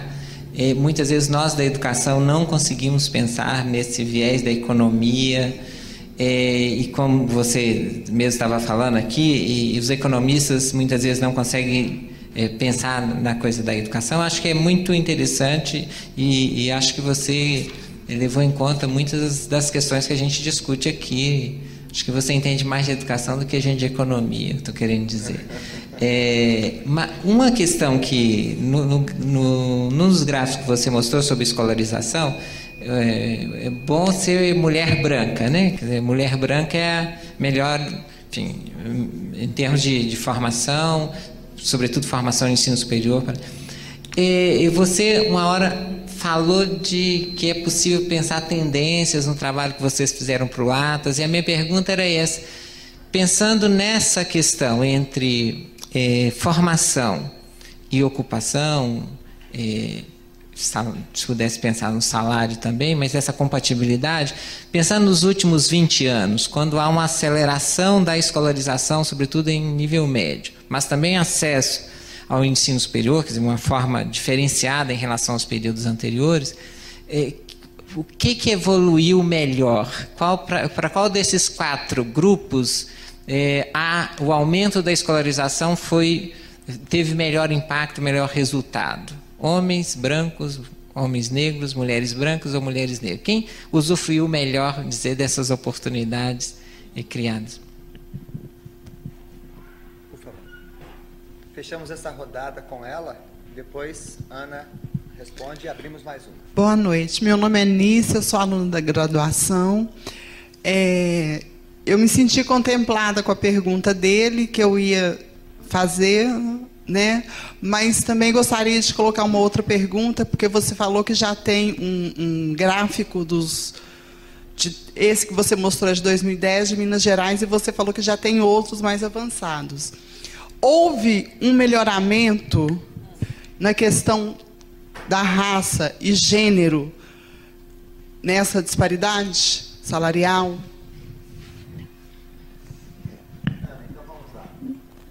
É, obrigada pelas perguntas. É, primeiro, em relação aos idosos, é, a gente trata de fato, é, e, e, da mesma forma que eu falei que tratava o mercado de trabalho de jovens, esse momento de ingresso no mercado de trabalho de, separada, o mercado de trabalho de idosos a gente trata da mesma forma. Tem trabalhos publicados já é, tratando dessa saída. E aí muito é, o trabalho que a gente fez, a gente publicou é, uma publicação do IPEA em português e em inglês e tratava exatamente desse processo de saída do idoso do mercado de trabalho ou permanência no mercado de trabalho, em que situações? É, os resultados que a gente encontra, primeiro, são é, esperados, quer dizer, para os trabalhadores é, é, o que a gente chama de polarização, quer dizer, permanecem no mercado de trabalho aqueles que querem e aqueles que precisam. Os que querem permanecem em ocupações de, de alto status. Aqui, para idosos ainda, a gente tem que levar muito em conta que a escolaridade importa ainda menos. O que importa mais é experiência, como você disse, não domínio de tecnologia, mas experiência. Né? Então, ocupações em que, se o domínio da tecnologia não é o fundamental, o domínio das habilidades, digamos, eu não consigo achar um termo bom para isso, mas administrativas, de supervisão, de comando, alguma coisa desse tipo, são as que são mais valorizadas. E o, o que reforça essa importância da gente entender as características ocupacionais. O meu esforço todo, ao longo desses tem já uns bons anos que eu trabalho com isso e eu fiz meu memorial para professora associada e foi ótimo porque eu consegui fazer esse balanço todo. Tem muita essa, essa ideia, quer dizer, eu não, não insisto em que a demanda e que a ocupação é relevante, mas as características dessas ocupações. Daí eu acho que esse diálogo com a educação e com outros setores é tão prolífico por causa disso, quer dizer, porque aí a gente vai entender exatamente características. Está falhando já. Oi, pronto. Essas características são definidoras. Nesse trabalho de idosos que a gente fez, o que a gente fez também foi ver um pouco de composição da renda. E aí, muito nessa história da distribuição da renda, como eu já disse, na polarização. Então, os mais pobres vão por sobrevivência, em ocupações é, usando o termo da OIT em trabalhos que não são decentes, que é o termo que a OIT usa, né? e, e que é essa permanência. É, tem uma questão de saúde muito forte também, que tem uma seletividade muito grande, quer dizer, os mais pobres com uma saúde pior. E aí tudo isso levado em conta nesse trabalho que a gente fez e a composição da renda mostrando exatamente o peso da renda do trabalho na renda total dos idosos. Esse trabalho fala sobre isso, é um trabalho específico, dá para reconhecer a idade, é, a, a dá para fazer essa decomposição. O que a gente faz lá também é fazer uma decomposição do que é um efeito conjuntural. Isso eu, eu tenho insistido muito nisso também, porque como a economia brasileira está muito aquecida em termos de emprego, é, e aí eu estou falando de forma agregada, não independente do tipo de emprego que está sendo gerado, enfim, mas muito aquecida em termos de emprego, esse efeito conjuntural a gente chama de efeito período. E ele afeta todas as idades. E isso vai melhorar para os idosos também. Esse estudo, nessa retomada recente de queda do desemprego, eu não tenho. Esse trabalho é, é, é pré essa, essa digamos, esse período de expansão do emprego e que favoreceria todo mundo. Só para finalizar essa resposta, essas perguntas de envelhecimento elas surgiram na década de 70 com o baby boom americano e essa discussão de sobre educação foi muito pensada eh, para essa geração do baby boom que era muito grande. À medida que se diminui é, essa, essa diferença, né, e as gerações mais novas são menores, os mais velhos tendem a ser mais valorizados. Sim. Bom, em relação. Eu vou juntar as duas perguntas, então, de tendências passadas. Quem usufruiu mais? É, bom, essa é uma questão complexa. Digamos que no relativo, é, um dos artigos da minha tese de doutorado comparava especificamente mulheres brancas e negras, sem querer fugir da resposta. Né? É, entre mulheres brancas e negras não há dúvida. As mulheres brancas elas elas usufruem, né, usando o seu termo, muito mais dessa questão do ganho da escolaridade. Ou seja, como que a gente olha isso? A gente olha fazendo uma análise em que a gente controlando por tudo, o efeito da escolaridade é um salário maior, né? Então isso é, é, entre mulheres brancas e negras é, é muito claro. É, os ganhos ou a diminuição do diferencial educacional entre mulheres negras e brancas no Brasil não se traduz num ganho de renda. Bom, mas o mesmo pode ser dito para os diferenciais de gênero. E volto a dizer, por isso eu insisto tanto em tentar buscar essas explicações que estão um pouco por trás. Não que eu esteja descobrindo, outras pessoas fazem isso também. Mas porque, se a gente olha para o dado médio, o diferencial de gênero diminuiu muito. Muito. É, no entanto, as mulheres são muito mais escolarizadas. Né? Tinha que diminuir mesmo. Só que não diminuiu proporcionalmente o suficiente. Né? Então, e essas são as tendências passadas. Quer dizer, esses trabalhos, de fato, eu, eu gerei para 2000, eu tenho esses dados todos para 2000. É, a gente tem uma dificuldade grande nessas pesquisas, que são as mudanças das classificações ocupacionais. Então, a gente ficou muito tempo fazendo essa compatibilização da, das classificações. E então é, como eu disse, eu tenho alguns trabalhos até 2000, depois, agora, esse trabalho de 2010. E a gente faz essas decomposições dessas mudanças ao longo do tempo. Né? Se deve à escolaridade, basicamente para dizer isso. Né? O aumento da escolaridade levou a um aumento proporcional né? na, na diferença né? Dos hiatos, né? Das, dos diferenciais de gênero e raça? Não. Não. Não levou. É, na média, no agregado, se você olhar, as mulheres brancas foram as que usufruíram mais. Se você olha quem são essas mulheres brancas, quem são, quando eu falo quem são, né, qual o nível de escolaridade, quais as outras características. A gente tem trabalhos que a gente usa número de filhos, aí trabalho só para mulheres, né? Número de filhos, se foi mãe na adolescência, todas essas variáveis a gente consegue incluir, aí, mas aí tem que ser em modelo só para mulheres, né? É, e aí é isso que eu os resultados que a gente encontra são esses, né? As mulheres, esse resultado é um resultado bacana que a gente acabou de publicar, não, mas relatório saiu é, uma parceria minha com o pessoal da PUC também, é, que as mulheres mães na adolescência são têm um nível de escolaridade mais baixo, a gente segue trajetórias, né, delas e são mais sobre escolarizadas. Elas aceitam ocupações que não exigem aquele nível educacional. Aí os motivos são vários, a gente fez pesquisa qualitativa também.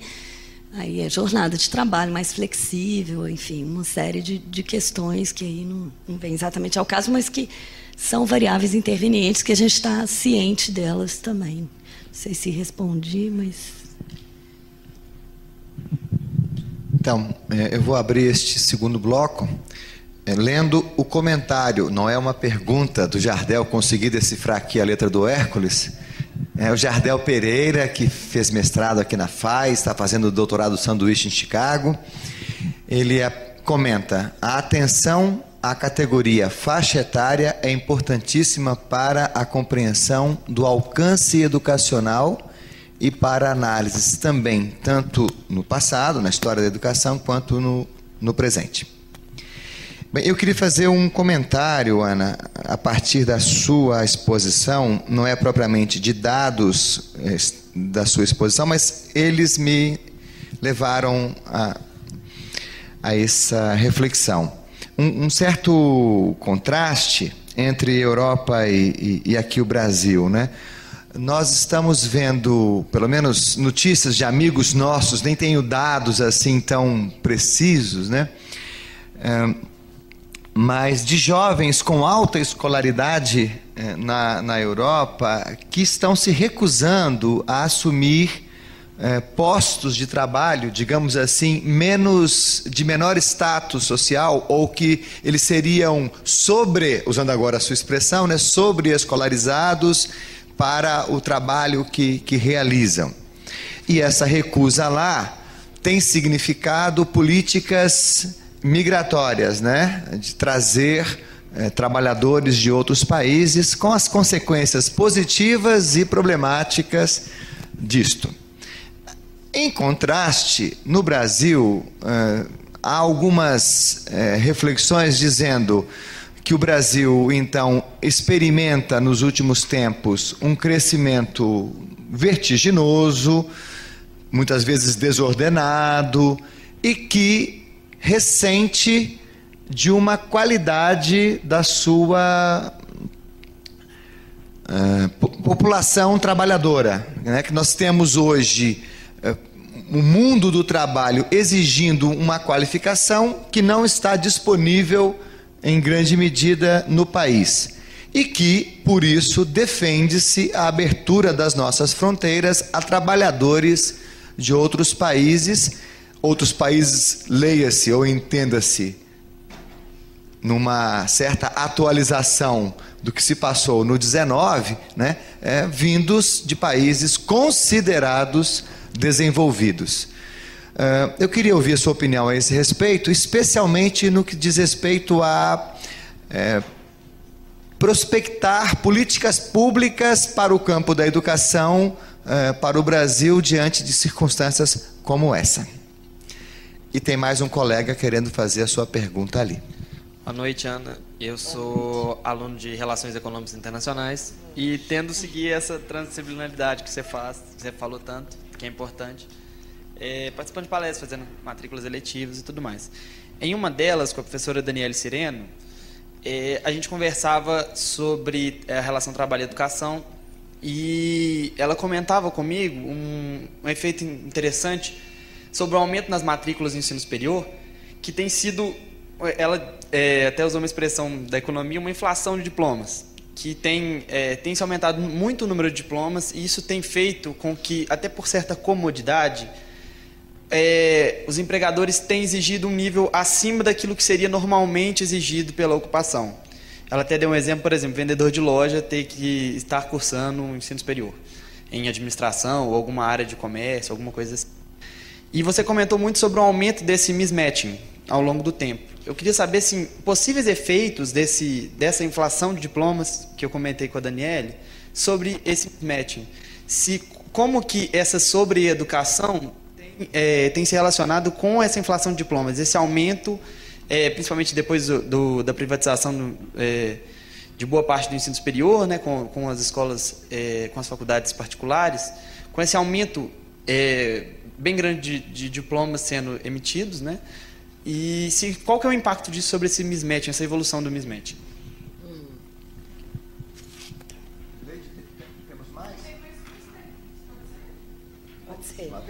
Vamos, que aí a gente encerra. Não, é, não, que aí então a gente vamos fazer encerrando com esses dois colegas. Ok? Bom, é, meu nome é José Sérgio, eu sou professor, oh, sou aluno da pós-graduação. É, eu só queria é, que você falasse um pouquinho. É, em, teve um, houve um momento que você mostrou um, um, uma tabela, um gráfico, e que você fala da concentração, né? da mulher mais em trabalhos sociais e do homem mais em, em na construção civil.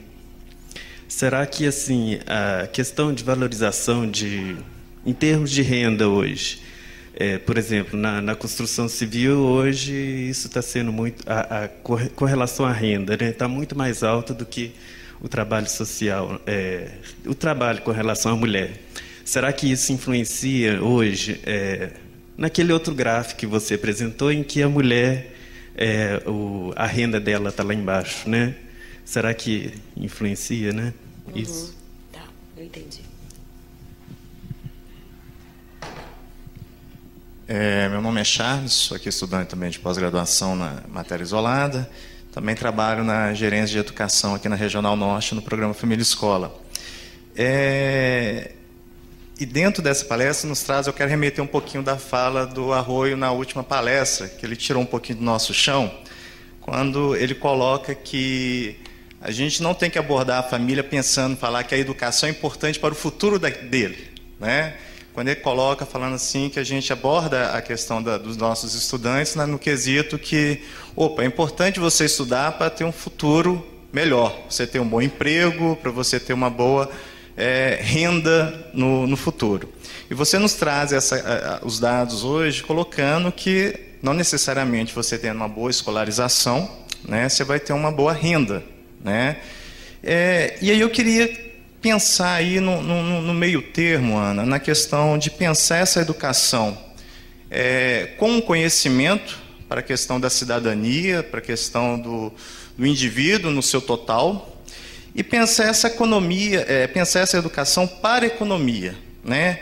Porque até então se pensar essa economia, é, a escolarização é tão importante até o determinado momento, ou é, eu chegar, por exemplo, vou colocar aqui, não sei se eu vou conseguir é, pensar aqui uma pergunta correta. É, até então, onde que é a importância para a economia? A escolarização, até um certo momento, ou a qualificação para esse trabalho? Porque até então a gente fica pensando nessa questão da escolarização, escolarização, escolarização, vamos chegar lá no ensino superior, mas aí, igual você traz esses dados, chega lá, você tem o ensino superior, mas você não exerce aquilo que você estudou. Né? Até onde que vai, eu acho, não sei se a gente vai conseguir chegar a esse ponto, mas a pergunta é essa. Entendi. Obrigado. Bom, vou tentar ser mais sucinta agora. A questão da faixa etária, eu acho que eu já tinha comentado um pouco.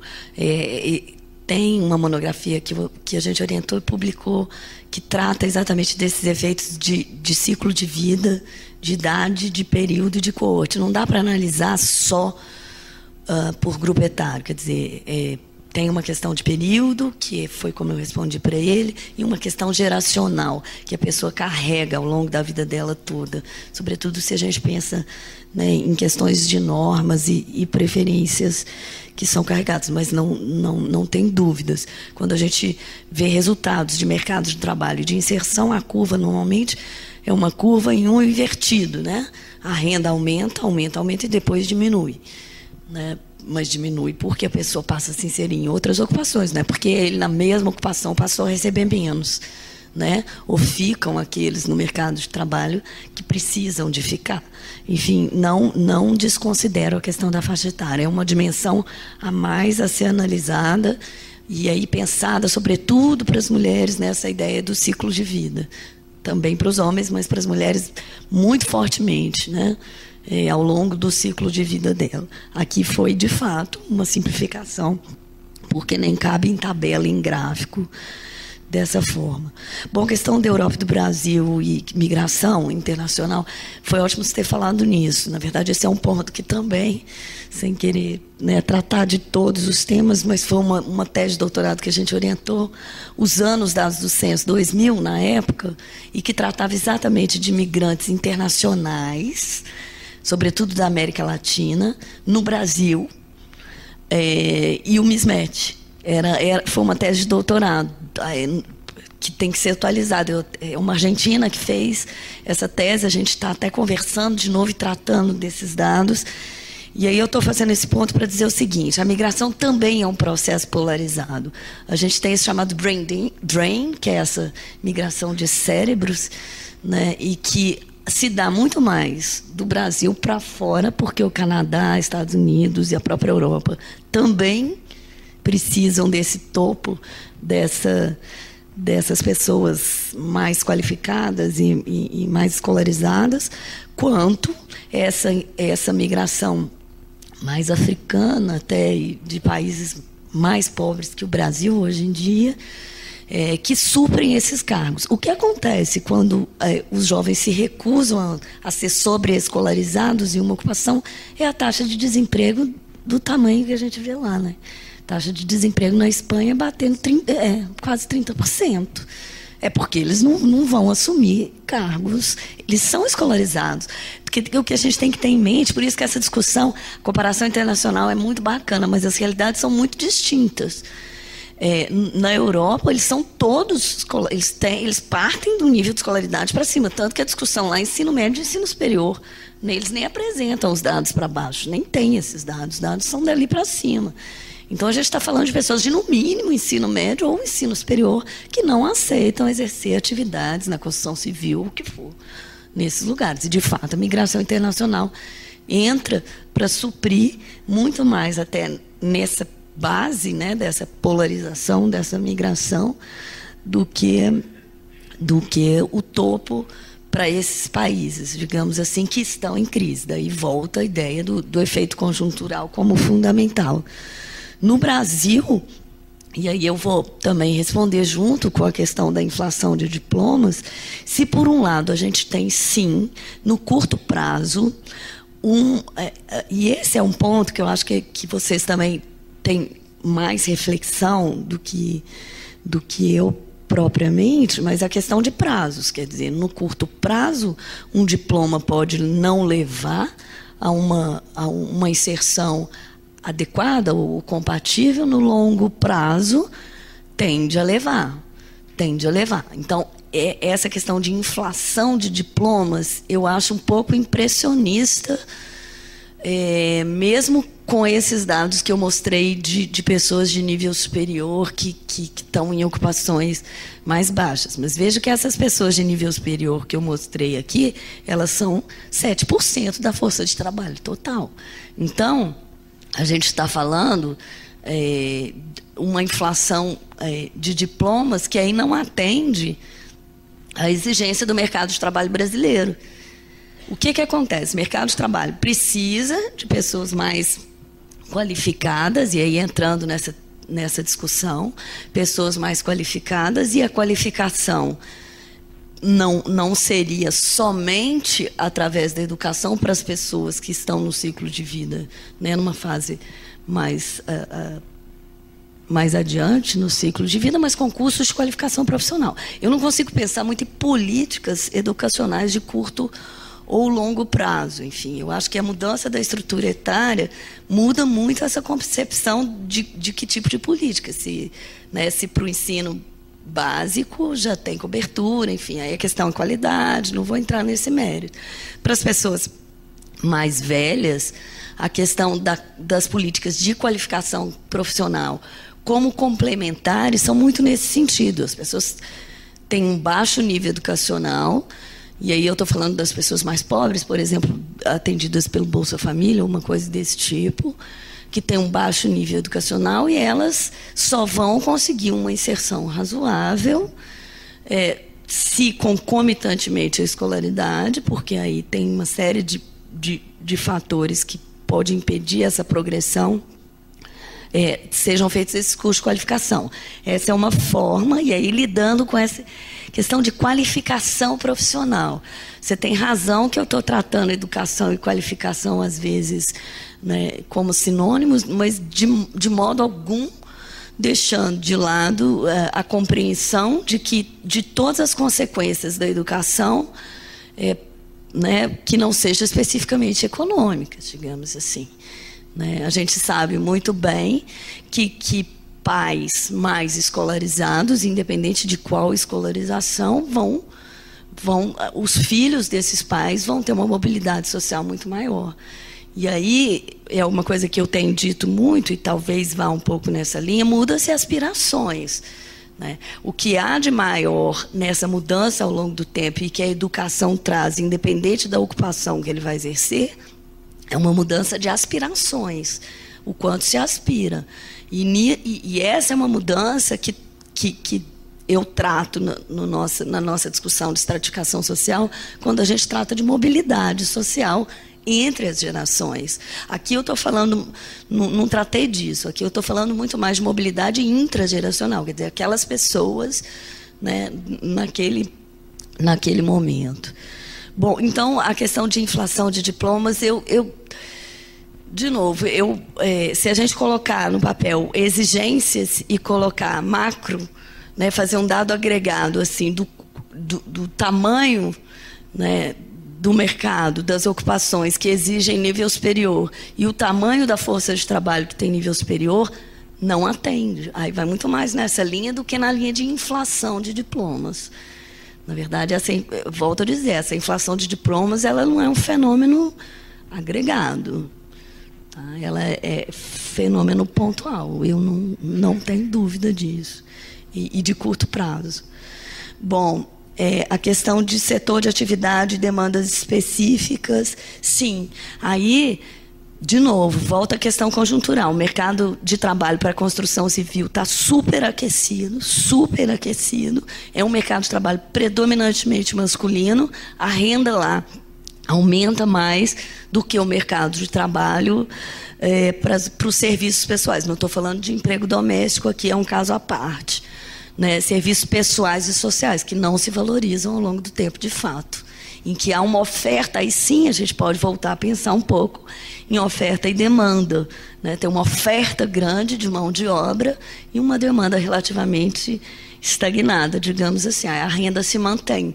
Por isso as ocupações predominantemente femininas continuam pagando menos. E aí, voltando só naquela questão de tendência, ocupações predominantemente femininas continuam pagando menos. A integração das ocupações é pouca. Se a gente pensa que é uma questão estrutural de longo prazo, é pouca. Poucas mulheres em ocupações masculinas e poucos homens em ocupações femininas. Isso muda passos lentíssimos. Essa, essa questão estrutural.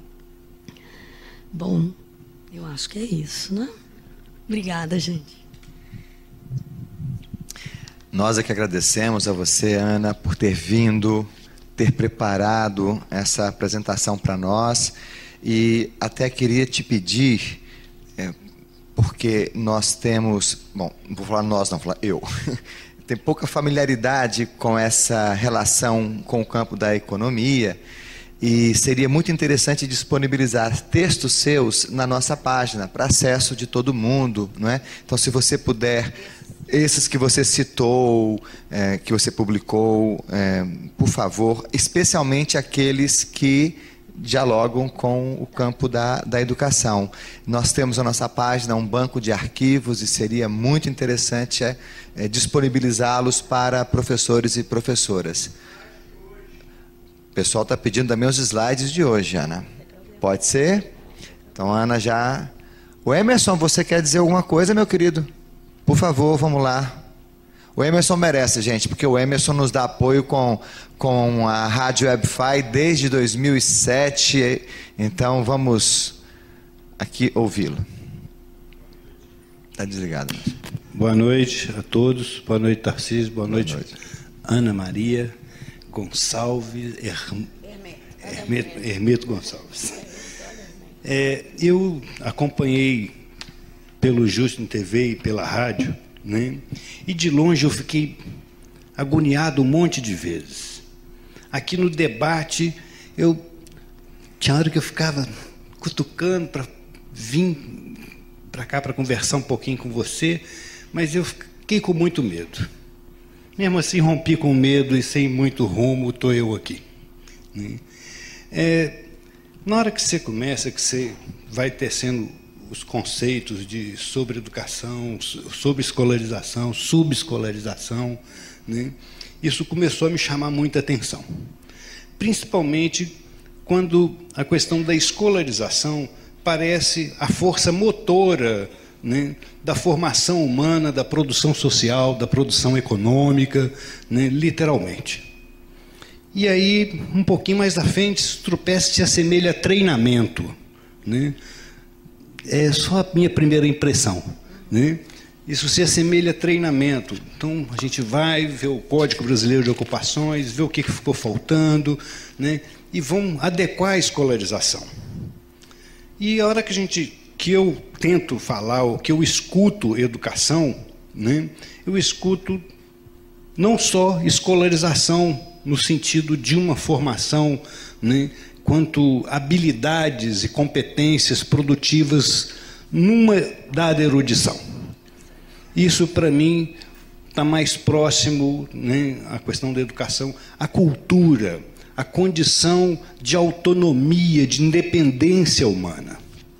E aí eu fiquei numa sinuca de bico. Na mesma sinuca de bico que a gente vê, por exemplo, no nosso país, o sexto país em desenvolvimento econômico no mundo, mas nas condições sociais e no índice de desenvolvimento humano, está lá na rabeira. Né? Eu vou usar, vou fazer a média aqui do nosso ganho com outros, outras pessoas, outras rendas, outras economias, onde a gente tem uma minoria que detém um capital muito grande e a maioria que detém a força de trabalho e a fome desse país.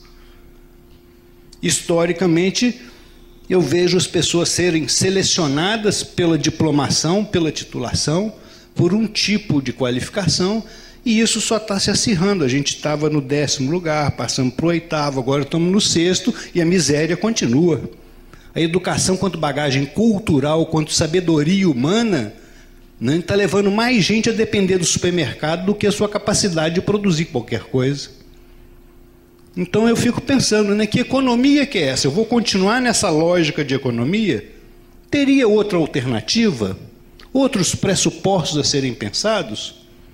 Na hora que o Tarcísio dá o exemplo da Europa, que muitos jovens não se submetem porque tem uma titulação, tem uma maioria também na própria Europa que não se submete porque o país tem dinheiro sobrando, ele está qualificado e ele precisa de viver a vida e não ser consumido na existência do trabalho. Então, assim, eu gostaria de que você me ajudasse a sair um pouco dessa sinuca, né? Como pensar, né? ainda mais quanto política pública, quanto educação, não quanto treinamento, né? pensar em dirigente quanto alguém responsável pela qualidade de vida, e não como alguém proprietário. Durante a fala também, um dado momento, tem uma similaridade entre proprietário e dirigente. Eu não quero um proprietário para o FMG. Compete nos ter um dirigente que promova né, isso quanto elemento, um bem público. E educação se faz quanto um direito e um bem público. Me ajuda a sair dessa sinuca? Não vou conseguir, não. É. Não, não, não, vai além da minha.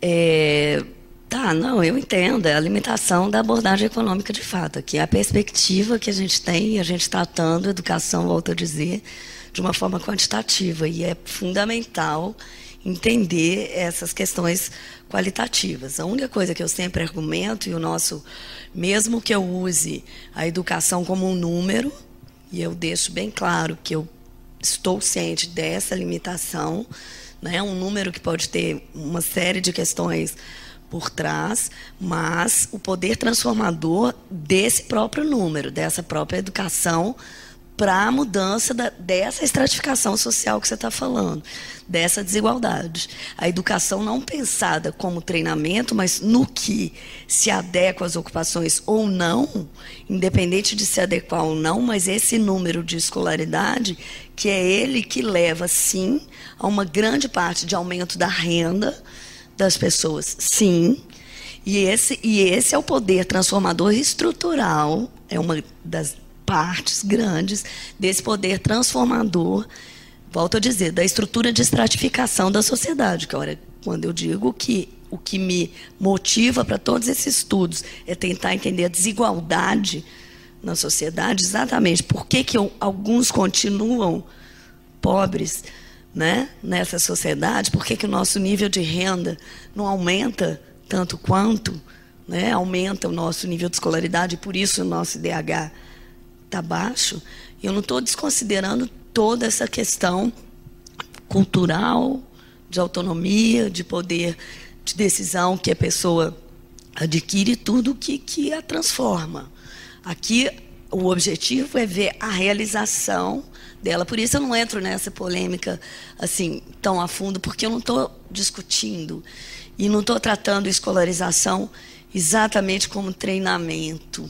Ao contrário, é, treinamento, experiência, cursos de qualificação profissional são outros, outras, outras dimensões dessa análise. Aqui é a educação, pelo que ela traz em termos de anos de estudo completos e quanto esses anos de estudo completos significam, e a gente não consegue medir, em termos do que ela aspira, das aspirações, da, da cidadania e de todos esses outros aspectos, que vão ser levados, por exemplo, e aí só para concluir, na escolha da ocupação que a pessoa vai exercer, e essa discussão de ocupação que eu disse aqui, ela traz muito dela, dentro dela essa questão das normas, quer dizer, ocupações que são dadas como femininas e permanecem como femininas, você vai ter o mesmo nível de escolaridade, e aí a questão não é treinamento, mas o tipo de escolaridade, ou a qualidade, ou o nome que a gente dê